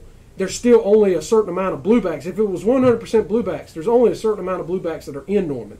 If it was 100% threadfin, there's only a certain amount of threadfin that would be in Norman, and that it would be the same amount no matter what the species is. Does that make sense? Yeah, and so we all circle back to nutrients. Yep. There, that's that. That's the thing. That, It is the dr- it is the driving force at Lake North. Well, it's the driving force at every lake. Every lake starts with nutrients. The more you have, the more fish you grow, so and ta- the bigger fish you grow. let's let's fire a different lake out there. We're right here, kind of on the shores of Lake Wylie. You got South Fork River that back in the day had textile mills that dumped all kinds of Yep. things that Yeah, you yeah. don't even want to speak of. Yep. It'd You be got- green one day, orange one day. Blue. Oh yeah. and then and then then you have there are still houses on Lake Wylie that dump their sewer into the lake. They are grandfathered in and are allowed to do it. As those places get cleaned up and go away, South Fork, there's no textile mills left there that I know of to speak of. and as people move Uh, on the South Fork, uh, Parkdale, Far- Parkdale Pharr Mills, Pharr Yarns is still on there. but they're not putting I'm sure that they're not. they're they're not putting the, the goodie back into the lake all- like they used and, to. And and really, as the South Fork changes, as people move west of Charlotte, because that's what's happening That's- south Oh, and yeah. west of Charlotte, and yeah, I mean, all you got to do is look at the western half of Lake Norman right now. I mean, it, That's there's where a I- subdivision going every that's every what- 500 feet. There's Yeah, houses. you know? that's where I live, and it's and so the it's coming to me in a hurry, and I don't want it to. The landscape is changing. And so, yeah, in 30, 40 years, Lake Wylie might be a lot clearer than it is now. I mean, honestly, it very well could be because how that landscape is changing in that watershed. So I don't know if that was your question. I No, it, it, it is. bit. No, it's it's perfect because I got one guy asking about Wylie and what the forecast for Wylie is, and the reality of it is, this is what's coming, whether we And like if, it or not. and if you clear up, if, any fishery that gets clear, if, you, gonna, if you clear up and you got Alabama's, look you're- out. Yeah, and that's That's all I know to say. that. No, that that's and, right. And so that that goes back to, and I know I'm harping on it, but that goes back to why we don't want to move fish and move invasive fish, because we're talking about a place in Lake Wylie that hosted the Bassmaster Classic. 2006. Was it back to back? Was it two years? No, it was 2004 was uh, the classic out here. Was it that, four? It was 2004. I can't remember. knew but it. It, Yeah. I knew it. I knew it. yeah. but it, Five pounder. so we had a Bassmasters Classic on Lake Wylie. Would you say that Lake Wylie is a Bassmasters Classic lake today? Right now, no, Heck no. no. You're lucky if you catch more than 11 pounds out here. Exactly. And uh, what's But- ha- but what's but- changed? But okay, and and again, I'm gonna get crucified for saying this. But I, the fishing industry but- has changed from I'm weights to which I was getting ready to say. pays the biggest purse. I was getting ready to say, dude, I'm I fish the Bassmasters, and I'm gonna tell you right now, they don't care about that. All they care about is it's money. It, it's it's money. It, it comes down to money. They go where the I- money goes. I goes. understand that, but but really, to to sum up Lake Wylie, the spots are becoming a problem. Okay, all the predominantly big largemouth piers on this lake, you go to and you flip a jig under it. Man, nine times out of ten, you're gonna catch a spot. There are those magical days where, oh no, I got a four pound largemouth. What did I, what do I do now? I got to get him in a boat. okay, that that that still happens, but I think really and truly what's changed Wylie more than anything is your bait source has changed. Okay, the spots have come in and forced the largemouth off of all the rocky stuff on the main channel and all the flat sandy stuff on the main channel. So now they suspend. Are, is there a problem with the largemouth population? Yeah, there is. I, I I would agree to that. There is a problem. Are they all dead? No. But is, is are there those magical days where you can still catch twenty pounds out there? Yeah, it happened at Norman in February. It happened out here three weekends in a row. We had 20 pound bags in the spring when we weren't supposed to be fishing tournaments, but we did it anyway. But that so that goes back to my statement of 20 years from now, the landscape of black bass in North Carolina will have changed significantly because of this one fish being introduced at Lake Norman Oh, it and the spread that came from that. That's that's the part that as a biologist concerns me greatly because I don't know how to turn it around because we don't have the answer. As as one of my biologist buddies that works with me, he says all the time, we're not going to stock our way out of Alabama bass. They're here. So how Can do you we, eat your way out of them? I don't know. Maybe.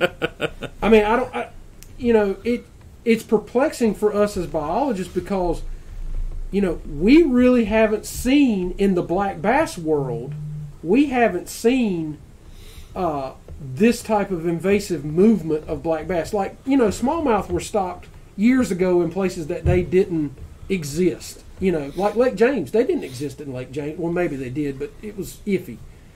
And you know, they didn't take over, but Alabama bass have, have done a fine job of taking over. They know what they're doing. I mean, Well, but- and, and and to speak to that even more, if you go south of here, you go into places like parts of Georgia, parts of South Carolina that have black bass species that are basically endemic, and that word means they basically are from that general little area. And I can't think of their names right now. Um, shoal bass comes to mind, but it might not be shoal bass. But it's it's some of those black bass species that are not as well known as as other as as say a largemouth is. Mhm. Because of the movement of Alabama bass into those drainages, we're talking about black bass, people fish that people catch. Maybe 20 years from now, are talking about being on the Endangered Species Act. Seriously, that there are certain species because they are so localized and they're only found in one part of the world that because of that introduction and the the integra- integration of Alabama bass that some of these fish are not going to exist on the planet anymore because of that. I, I'll tell you one thing I noticed. You talk about that back before Hartwell had an explosion of spotted bass. You used to catch a lot of little bass in there, and they were red eye bass. Yep. And They're they, gone. They're gone. I, I mean, you can go to Lake Chatuge.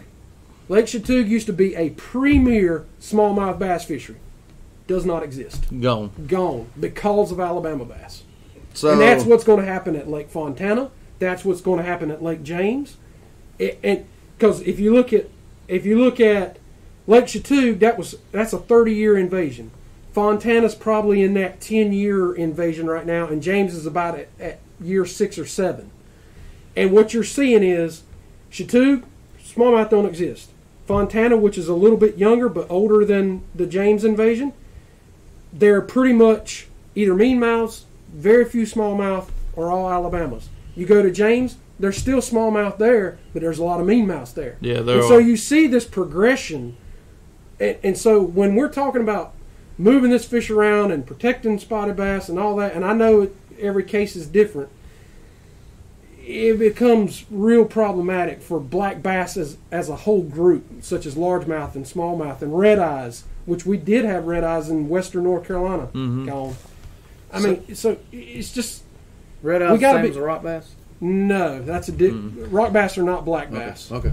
Rock bass are basically a sunfish. yeah, I was gonna say. Ambloplites, anyway, and we'll get down in that world. But I'm a big So rock bass fan, Anderson. Tran, I want you to know I'm not ignoring your questions because they are valid questions, and you've stated three different things that need to be covered. I'm going to try to scroll up here and catch the first one. I know Anderson. You know Anderson? Mhm. Okay. So he wants to know. I think that's the first one. That's as far back as I can What go. is the point in trying? No, No. What what can we do to improve the largemouth ability to compete slash grow? Is it habitat? And He wants to know practically, practically speaking, what actions can anglers take to improve the factors that you I mean, habitat is very important to largemouth, as y'all know. I don't have to tell you that. And and largemouth habitat at Norman is not fantastic. Let's be honest. Virtually Spe- especially offshore. Yeah, yeah. I mean, you think about 20, 30 years ago, you know, there were islands, button bushes, you know, there were there were different habitats that don't exist basically now at Lake Norman. Um, you know, can we establish habitat in those upper reaches where there aren't houses or if there are landowners that will let us establish habitat, can we do that? We can certainly try to do that. And do I think it'll help largemouth? For sure. Um, but like I said, that's an uphill battle. I don't want to wait on stocking until we got that nailed down because I think we, I, I'll be retired. Yeah. Um, you know, Oh, so- well, I mean, but again, here's we're I'm doing I'm I'm doing this what I'm trying to do between Lake Wylie and South Carolina for the fisheries and you know what these guys are trying they're not doing it for them because I think I think the people that have enough sense to realize that this is a long-term thing. You know, we're not going to fix it tomorrow, but Sure. we'll, we could potentially change it for our kids. Kyle's got young kids. Shane, you got a daughter who's 15 who will fish but doesn't care. Right. Well, let's face it. And I've got young kids. For me, what are we going to do to make it better for them? Yeah. I mean, that's that's the point.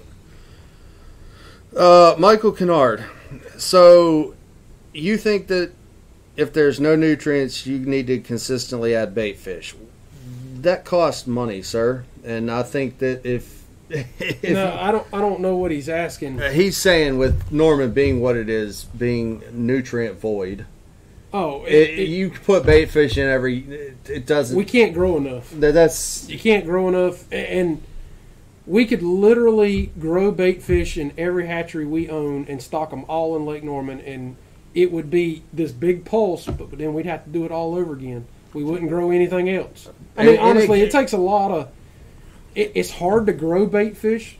Believe it or not, they're not one because they get crushed by birds and Yeah. everything in the. Ha- I mean, you got to think about in the hatcheries. They're pinned up, you know. so.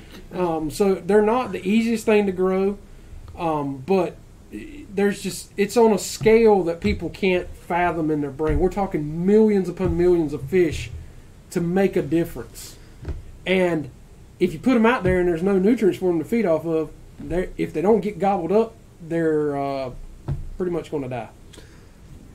Once again, it goes down to that ball. How big's that ball at the bottom? If that ball's real big, like at a Jordan Lake, mm-hmm. you got a lot of fish. You can grow big fish everywhere of all different species. You can grow big fish, but when your ball is small of nutrients, you just you just don't have enough. You don't have enough at the bottom to sustain what's above you, and you can't add.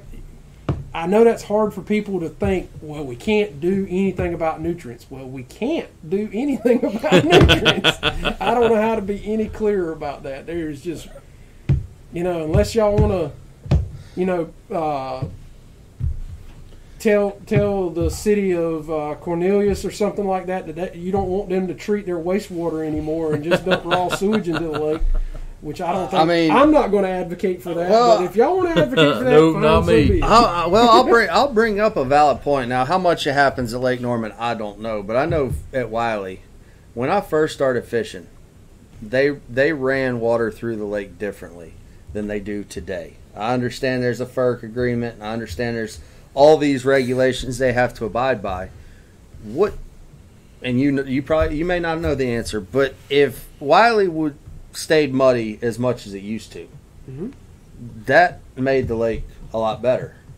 I mean, it, it mud creates nutrients, nu- which create well, it is nutrients. Mud is the nutrients. So- so that so when you get muddy water, that is nutrients flowing into your lake. So, like for instance, right now, Lake Norman's getting a big pulse of nutrients, right? Yeah, it's filthy. And somebody says, "Well, what if we kept it muddy? or, You know, what if we had that all the time?" Yeah, it would grow more fish and for better sure. and better fish. it would grow bigger fish and more fish, but you're not going to get that with Norman. You'd have a lot of teed off homeowners Well, too. even well, some of that's out of their control. They can't really control the Well- nutrient flow that's coming into the lake. But when, when where I was going with Duke Energy, so when I first started fishing, the lake kind of maintained a level. And you look at the graph, the data is out there to go back and look at. The, the lake level was 97, and we'd get rain and the lake level would spike, and then it would flow back down gradually. Mhm. Now, there's rain on the forecast. They drop the bottom out of this place. Literally drop the bottom out of it. Part of that, And then let it fill back so up. So part of that is their is their FERC license. Yep. Um, it, that's and that's uh, we won't get into that. That is a huge That's process. a that's that- a that's a deep hole. is a deep hole that we don't need to get into. So part of that is what they do, and they're preparing because there are so many people that live on the lakes now. They are making preparations to not flood those people, and and, and it's it, it becomes a safety thing for them. Well, I know at Mountain know- Island and the upper end here, especially, Yeah. there, there are flood problems. Yeah, and so it's a safety issue as well when it comes to people's homes and, and people's livelihoods, businesses that are on the lake. So they're trying not to flood those as well.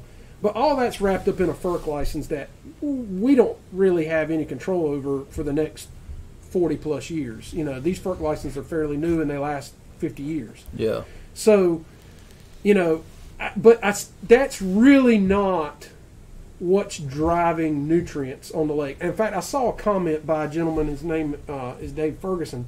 He made a comment that, you know, it's going to get water quality on our lakes is going to improve year after year after year after year because our technology has improved. How we manage wastewater, Can and we how go we back manage stormwater, and how we manage all those things, we've gotten so much better at. And so, yes, he's exactly right. That production is going to lessen over time. Um, so, in theory, Norman could get less productive than it is now, and so Wylie can get less productive, and you know, and you're already seeing some of that. Well, so- there, there's so many other things too that we're seeing. There's there's new waterfront property in the back of Crowder's Creek that wasn't here ten years ago. Yeah, I And mean, it, it's the, the sedimentation. just like you know, I have to deal with you know people moving in from all over into the state of North Carolina. The landscape of our state is changing. The amount of people that are living here, the number of people that are on these lakes are changing, and our technology's just getting better. And so we're getting better at cleaning the water that we're that we're utilizing. Because yeah, it's a body. Lake Norman's a body of water, but people are using it for all different types of things, including drinking it. So uh, know, I mean, it, it, that's that is a fact. But Yeah. what people are shortchanging themselves on is the amount of dollars that our natural resources can bring in to our state's economies. it's a inland fishing. I wish I had that number off the top of my head. I know what it is in South Carolina. What is it in South Carolina? The the fishing industry as a whole brings in three point nine billion dollars. It's pretty close to that in North Carolina. It's almost it's somewhere in that three to five billion dollar So range. so if you have and that- that's just that's just inland fishing. That doesn't include the saltwater. I'm a. I'm aware, but Yeah. we're not utilizing the money that we're bringing in. Let's face it, we as fishermen bring this money in, whether it be through tournaments, tackle sales, manufacturing, whatever. We're doing it. We're doing our part, but we're not smart enough to fight for those dollars. yeah, I, yeah, I mean, like I said, a united voice is much better than a divided voice. And So- if I could suggest anything to you, you know, whether it be whatever, if it's habitat at Lake Norman or whatever, you know, a united voice will help you for sure. hint, hint, boys and girls, let's all get on the same page and quit all being biologists and thinking that each one of us knows better than And- the other and work as a team to get what we want. and I will tell you that you know, as an agency, we're here to represent you all.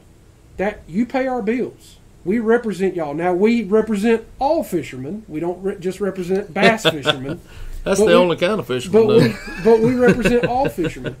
And so I appreciate, you know, obviously I appreciate the opportunity to come speak to y'all because forever I think we've been somewhat. Uh, when I say we, I mean the commission.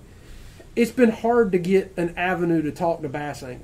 It just has, well, and but it's there's something that I've strived for for many many years. And so, you know, I want that dialogue open. You're not going to say anything that's going to upset me or get me riled up. I mean, we can agree to disagree. You know, he wants to save every spot, and I want to kill every spot. No, I'm, no, just, save I'm, just, them kid- all. I'm just kidding. I'm just the kidding. ones that just the ones that are two just- pounds and bigger. I just said that to drive you crazy. Well, it don't drive me but, crazy. But the point of it is, is uh, really, you know what? Either support the F1 experiment or choose not to fund it, but don't sit and criticize it because it's an experiment. It's just that you have to give it time to work. Shane Limer's heart fishing for life. he probably needs to.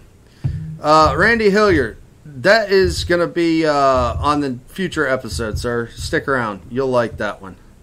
Um, yeah, Jason Land, you're right. You want nutrients, but mm, you can't just magically create those. no, And we, we we are where we are We need that. them deviled eggs. That- we need them deviled eggs. I'll tell you how we can. Well, I can't publicly say how we can create it. Just fishermen, pack plenty of toilet paper in your boat when you go fishing. I'm not advising that, but whatever. Look, Chris, Chris Marshall's poor mouth, and I'd love to stop driving two or three hours down the road to fish all North Carolina lakes. Yeah, it is such a shame making money at Lake Murray. Yeah, I'd feel so bad if I was him beating up on Joey all the time. you know. you know what's bad is I talked to Jody Wright the night before that tournament, or yeah, it was the night before that tournament, and uh, he was poor mouthing about the bites they were getting, and Joey Sabaga posted one lowly fish Like a ten pound or something. on Facebook and had them Yeah. all gun shy, and they go down there and crack his head. Joey, I'm I'm I'm ashamed, sir. We're still trying to get the YouTube video from the, the Chris Marshall, I'm proud of you, buddy. All right, I don't even know what that's all about. Um, Milorganite everywhere. You Yeah. know what Milorganite is? I have no idea. It's human waste. It's a fertilizer. Turning, it's turned into human waste. We use it in the landscape industry. Yeah, there you Make go. stuff grow. There you go. A grass carp are invasive. My, Michael Stevens, I'm not going to touch that comment with a 10 foot pole tonight. I don't want to talk about that if I can help it. no. I mean, I Lord, can talk about it if I need to, but I don't want to. No, no, Which part, the grass carp or the eating them? no, we're we're One, if you want to eat a grass carp, you're hungry. I think those are really now nasty now fish on the okay. planet. So we got we got a few more minutes. But Uh, if you snag them, it is awesome to I- catch them in a foot of water. oh, no doubt, no doubt, as strong as an ox. They're bulls. Um, so we'll we'll bring that up. The grass carp fine. that they dumped into Norman. Yep.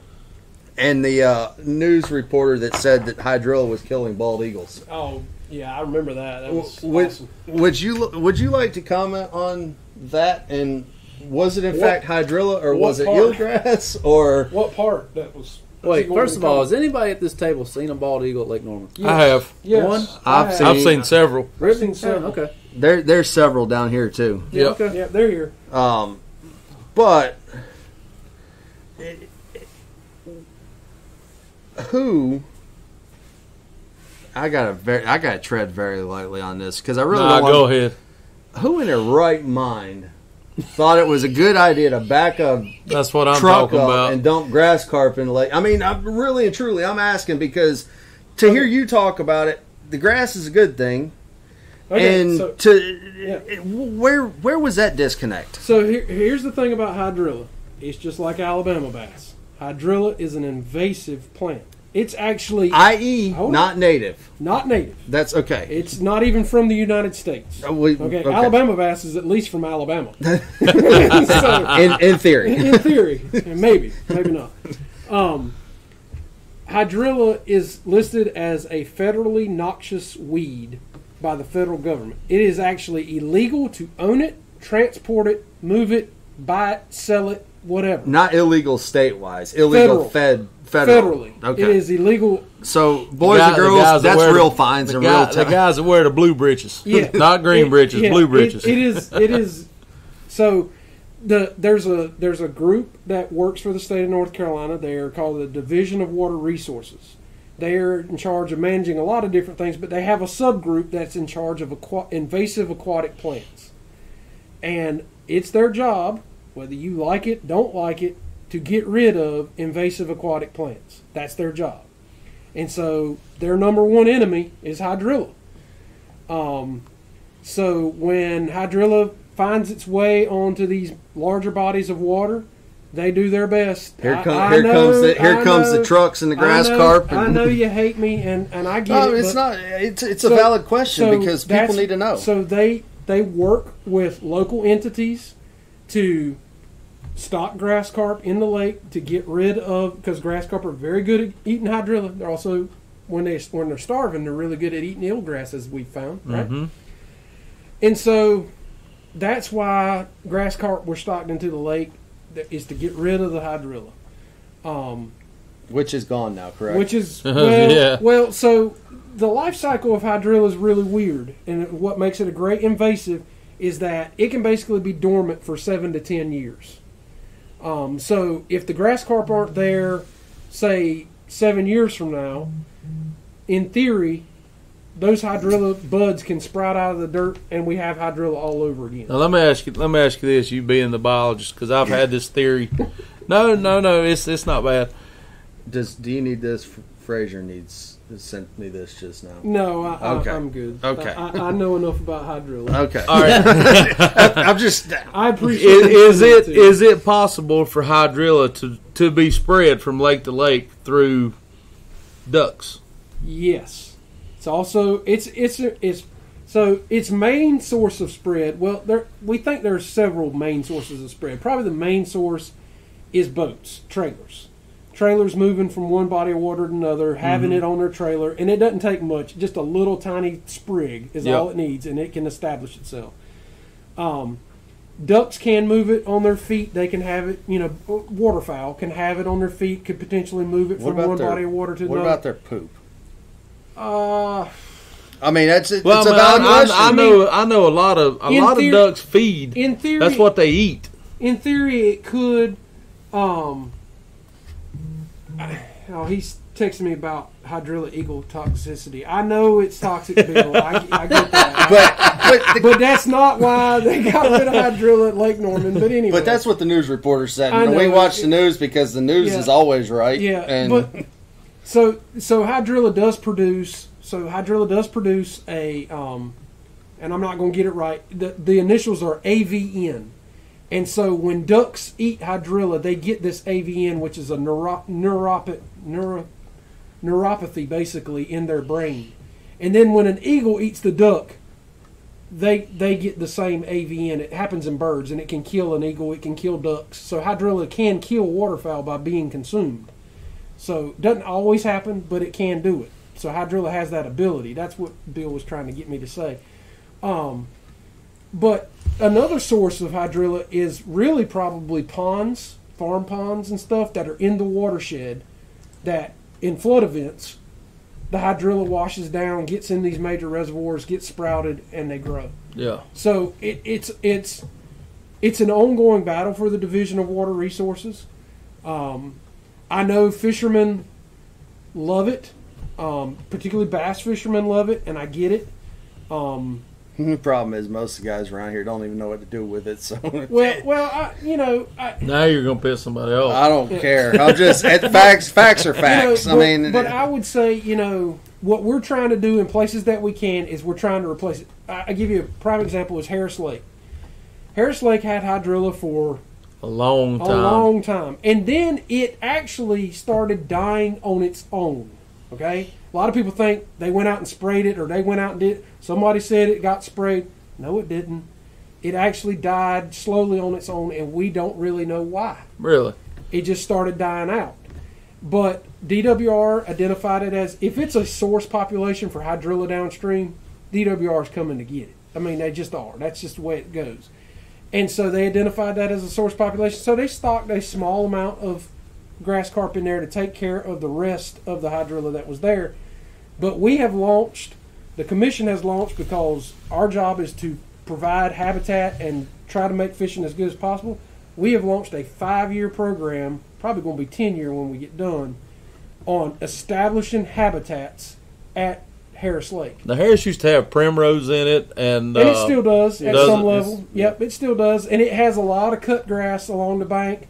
But we're trying to establish some of these other, like lilies, lotuses, um, eelgrass. If we can get eelgrass to establish, we're trying to provide to make just like take whole coves and provide artificial shallow water habitat that bass would utilize.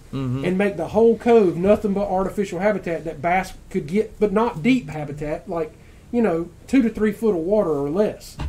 And so that's a we're into year two or three of that program and so if you go to harris you'll see just tons and tons and tons of work that we're doing would love to do that at, at a lake norman now we can't do it everywhere because we're limited in the people power and the yeah, money absolutely. So- we would love to do it at lake norman but like i said before that is a big uphill battle at lake norman is, is just curiosity.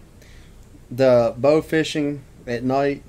I mean, what are the rules on shooting carp? Cannot- Kyle, do you know? you Cannot can't Lake you Norman. can't kill grass carp. you It's- cannot kill grass no. carp at No. lake norman You can Okay. shoot the yellow carp and buffaloes and all that, but you, You can't, can you're not. shoot- You know, you're. It's not that you can't. It's that you're not supposed to kill the grass you can, carp. you can shoot non-game fishes That's right. So anything Gar, that's listed, whatever. carp, Okay. gar, catfish, um, But the grass carp are but protected. grass carp are actually protected at Lake Norman and some other lakes. They're not protected everywhere, but they are protected at Lake But Norman. for those of you that want to catch them, grapes and strawberries work really good. But you're not supposed to. So just to let you know, they're they're not to be harvested. Even they're not to be harvested at Lake Norman. When does that run out? Expire What? the What? grass carp deal. When can that be? Uh, when can you? Could you shoot them, harvest them, eat them, whatever you want to do to make fertilizer out of them, or is that a permanent deal with the lake? It is currently a perm. It is a rule, so it is currently a permanent rule. Now we could rescind that rule eventually, but as long as DWR is actively managing hydrilla at the lake, we will keep that rule in place. Gotcha. So, Scott Farmer, we have talked about grass. You got to jump back to the beginning, buddy. Um, eelgrass would be ideal. Water willow would be awesome. Yeah. Some of those sorts of things would be good, but it, it would be nice to have a shoreline grass and a grass that is out in the water too, Yeah. that doesn't come up. You know, it comes up. Such as doesn't- eelgrass. It's not an immer- what Yeah. they call an immersed vegetation, which is what water willow is, meaning it comes out of the water. It would be a submersed. It don't. It don't come up in mat so Yeah, that- so like hydrilla There- or or uh, milfoil or something Yeah, like that. yeah. so there is a And, and all those you just named are invasive. Yeah. to uh, to quote one of my more favorite movies. So you're saying there is a chance. Always, there's always a chance. There, there is a chance that the guys from the F1s and the rest of the people that will say naysay, whatever. Um, that And we all could get together and make this happen. And I will tell you that the F1 guys that came to me, you know, they were like, "Look, we get beyond stocking fish. If you or or if you decide that habitat is is a is a better way to u- utilize that money, that's what the money's for. It's to make fishing at Lake Norman better. They have said that over and over again. Well, So, and I again, know- this point, the point of this was to educate, not to aggravate, not to. Oh, well, Step Stir, one- I stir the pot. I, I shouldn't have come then. Well, no, no, because you're aggravating us, aggravating you, or you aggravating people is educating people on reality of what the potential is. Because Michael Fox, no offense, but posting pictures of Smith Mountain Lake every week isn't doing the program due justice that it deserves for what the potential really is. Okay, face it, Norman probably will not be a Smith Mountain. But that doesn't mean we can't make Norman better by doing all the above. It's definitely gonna. It'll definitely help it in the long run. It- like and like Corey said, it's not going to be an overnight fix. It's going to take time. Just, uh, I think we all just need to be patient and do what we can do to help. Jason Land, would a slot limit make a difference on either largemouth or spots? No, no, I- and I mean I can. We could bring up Harris. I that, remember couldn't we? Falls. Yeah, I we could, we could bring up Harris for that. We, we So- had that discussion earlier today. Yeah, Jason so- Land, there's been a lot of behind the scenes. So, for instance, you know what they call a slot limit is is actually probably in the scientific world. It's actually probably a lim- window limit where you bracket off this group that you can't harvest from. You know, so for instance, at Harris, I believe it's 16 to 20 inches you Yep, can't harvest from. that's right. Well, so what happens is is what we have found over the years, and it's not that Harris is a bad fishery. Don't go home and say, "Well, the slot No. limit is bad." No, or whatever. That's I not what I'm saying. But here's the reality of it: if you look at our data and look at what we found, is that over time, the fish that are in that 16 to 20 inch zone at Harris, their condition is actually lower than the condition of fish that are outside that zone and the condition of the fish that are below that zone because there's so many they're crowded in that group of fish. Why that is? Other than there's just too many of them i don't know but that's just the truth those fish actually show lower condition Well, how how long has that slot limit been in place? It's for been- a long time. Eh, for a long time. And here's the thing about rules: if you don't, you if anglers don't go and do it, okay, it doesn't work. I can set all limits in the world, right. but if you don't go and harvest the fish that are below that slot limit and the fish that are above that slot limit, because we're protecting just those fish in the middle. Mm-hmm. If you don't go harvest those other, it doesn't work. It, it, it just crowds them. And so in the bass community, which it's great, I'm not, don't, once again, don't go home and say Corey's against conservation of bass. It's not But, what I'm but saying. no, the problem is people don't understand what conservation is. Well- I'm going to say that publicly. Crucify Well, me. I don't care. I'm not going. I'm not going to go that far. But but there, there there are, you know, forever it's been preached: catch and release, catch and release, catch and release, catch and release. And I go back to what I talked about way back at the beginning of this. There is a pasture. There's only so much food in that pasture, and the, if you don't take some of them out, the pasture gets crowded real fast. Yep.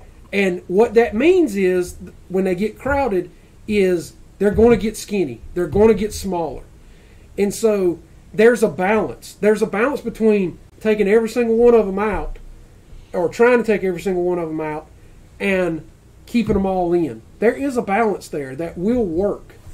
And so I, if I could promote anything to bass anglers is that harvest is not a dirty word. It is No, not. it's- it's it, not. it actually functionally is a good thing overall for the fishery. It will make your fishing better. Conservation with Team a purpose. And I got some buddies watching this po- and podcast and, that'll and our job Ziploc. as biologists is to monitor that. Like if you are taking too many, then we come in and say, "Hey, look, harvest is pretty doggone high, and it's getting to we're getting to a maybe a point where we might need to slow that down." That's our job. That's what we're supposed to do. Right. But I can tell you there there ain't a bass fishery around that's got that problem.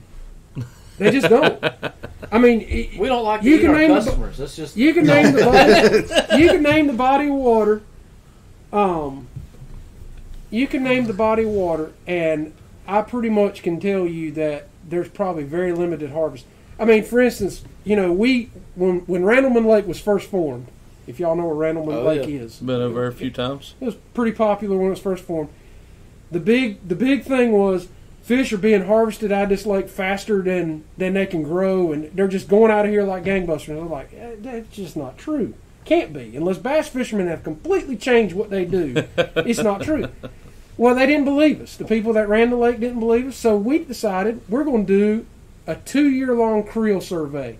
We talked to every angler that would talk to us that because there's only two entry points in that lake. Yep. We talked to every angler that came out of that lake and went into that lake, what they did, what they were catching, what they harvested, how they did it, all all those questions. Can you guess what the harvest rate percentage was of Randleman Reservoir largemouth bass? Under two percent. Absolutely, it was like 1.5. really. Okay. You want to? You and want? so, and really, a good harvest rate is like probably twenty percent. I mean, Wow. seriously. I mean, to make and and for an overcrowded fishery, it might be even higher than that. Eh, eh, Everybody that's listening, those are facts. Conservation is great. Conservation with no purpose is pointless.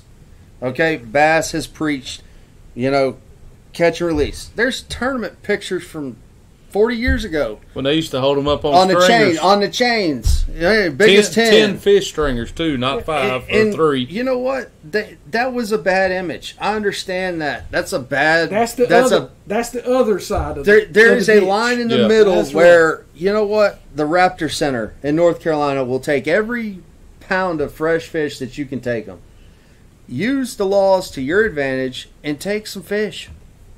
Keep it within reason. And honestly, like for instance, that five fish limit for bass, if people would keep five fish, not every time they went, and I'm not saying keep an eight pound largemouth. I'm saying keep No. a one and a half pound largemouth. Right. If people would keep, but they don't five want to fish- keep those though. They want to keep the three and four pounders. I know. So if you would keep some of that, you know, out of the system, you would actually, if everybody would do that, you would actually see a shift in how those fisheries act, and you would get bigger fish more than likely. I mean, just what I mean. That's just the principles. That is the basic principles of biology. So you're right saying if if we had a Lake Crisco Management Commission T-shirt, we would we'd do pretty well. what is it? The old motto: "Kill them and grill them." yeah. Well, I, I'm not. I'm not. So I don't want people to take that the wildlife commission is out to get rid of bass or to. That's not what I'm. this preaching. is this is educational But because people don't realize But he's how got to to grow say that fish. because I've been involved He in, does, some, in no. some comments that And- it just goes way down rabbit holes that and aren't. and I'm not and I'm not saying don't be conservation minded. I'm not saying don't be catch and release. That's not what I'm saying. but it's what okay am to saying- take some fish every now and again. Yeah, it's okay to take. Shane, kill some fish, buddy. If you gonna eat them, And I'll s- take them to Raptor Center. Spy I don't bass even know taste where that's great, at. by the way. what's they that? really do taste good. Spy He, bass he are really said you were good. better at catching smaller fish than he is. So Uh, that's I, I catch little ones. They're, they're as close to walleye as I've tasted. Honestly. What? I wouldn't go that far. They're Come not on that now. good, but the texture is Yeah, is it's about there. the same. Yeah. Yeah, the texture's there. The walleye texture is So, there. so what we've deduced out of this is Dave Anderson should be everybody's hero, except for when he kills three pounders. Oh, he he he don't call anything. No, he's a no He call. eats 'em all. he's a no I, call. I, well, I don't know if he eats And- them all, but he kills them all. And honestly, if there are people out there that are like that, Ah. that's okay. As long Mi- Michael everybody's Kennard, that's that's the best. That's the best question you asked all night, buddy. He, this guy wants to know if if uh, grinding up small Alabamas on the lake and it adds nutrients to the lake. It might. there you go. it helped the catfish; they'd like it. Well, I don't know if we need to help those any more than they've already been helped. no, they've been helped enough. All right. Well, we've eclipsed two hours, guys. I hope, honestly, that this has been informative for and, everybody. and and helpful too, as far as trying to get everybody together on this topic. You know, like I said, we've all had, we've all been on opposite ends and been on both ends, and hopefully we'll get some clarification. I know I got some myself tonight, and um, Listen, and you know what? I, I before we go, Matt Haywood really did make a statement that needs to be made. He said he's in for F1s, but there's more to it, and cer- and for certain reasons, that's why thirty thousand has not been reached of the goal that they've set yet.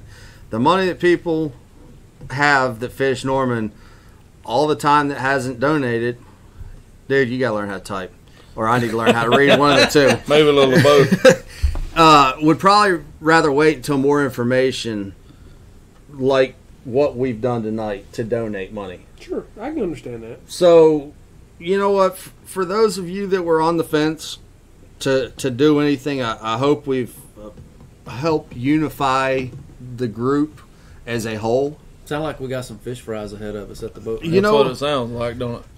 Lake Crisco. I don't mind Hey. catching. I don't mind catching them or and giving them to people, but I refuse to clean them. I'm gonna tell you what, Lisa, While you're there, take all the white perch you got too. Le- Hey, Lisa, now those are good to eat. that, they but are. They're You know, delicious. you can do Yeah. a pound bonus for every ten You know pounds what? of No- small spotted bass. why not? Why not take the F1 stocking tournaments and have a fish fry? There's a couple guys around Norman that I know Well, they know how to cook. Now, I, in their defense, they initially wanted to do that. They that, did initially. and want to do people like And- me, Poo I'm pooed the guilty. idea. I raised hell about it. Yeah, got I'll be the first one to tell you. I raised hell about it. But in my defense, they said they want to do it with all, All. spotted bass. all of them? See, if you would have come to me and said, "Hey, we're going to do this with with spotted bass under 15 inches," hey, I'd have been right there with you.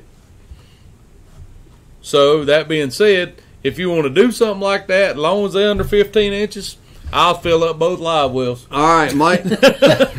Mike Langford said he'll clean them. So all we need is a grease man and uh, Somebody to donate some cooking oil. and some cooking Rob oil. Dye. We're rock and Rob- I roll. gotta Rob put some Dye. house archery on them dang things. House archery and cooking oil. Let's go. Rob Dye and Todd Alton, they, we need to make them fry them up because they them some fish eating some of guns. Well, all all I'm saying is, you know what? Let's all work together. Okay, the banter back and forth is fun, but I've seen it get too personal. Yeah, We're it really all, has. We're all here. I don't care what your past is, what decisions, good, bad, or indifferent, you've made in the past. We all, as a group of anglers, have an opportunity to do good. So let's take that time to do good instead of trying to destroy other people that don't have ideas that you agree with in the process.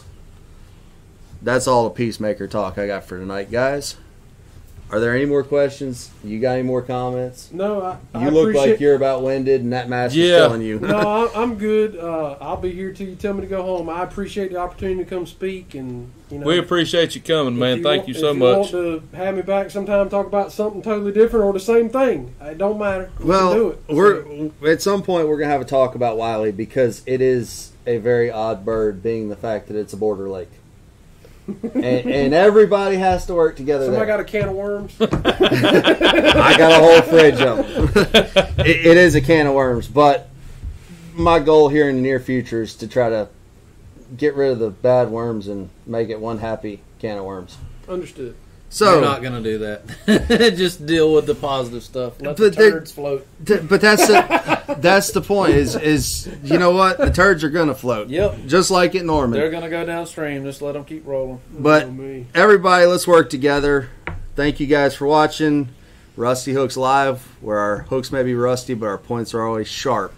Good night.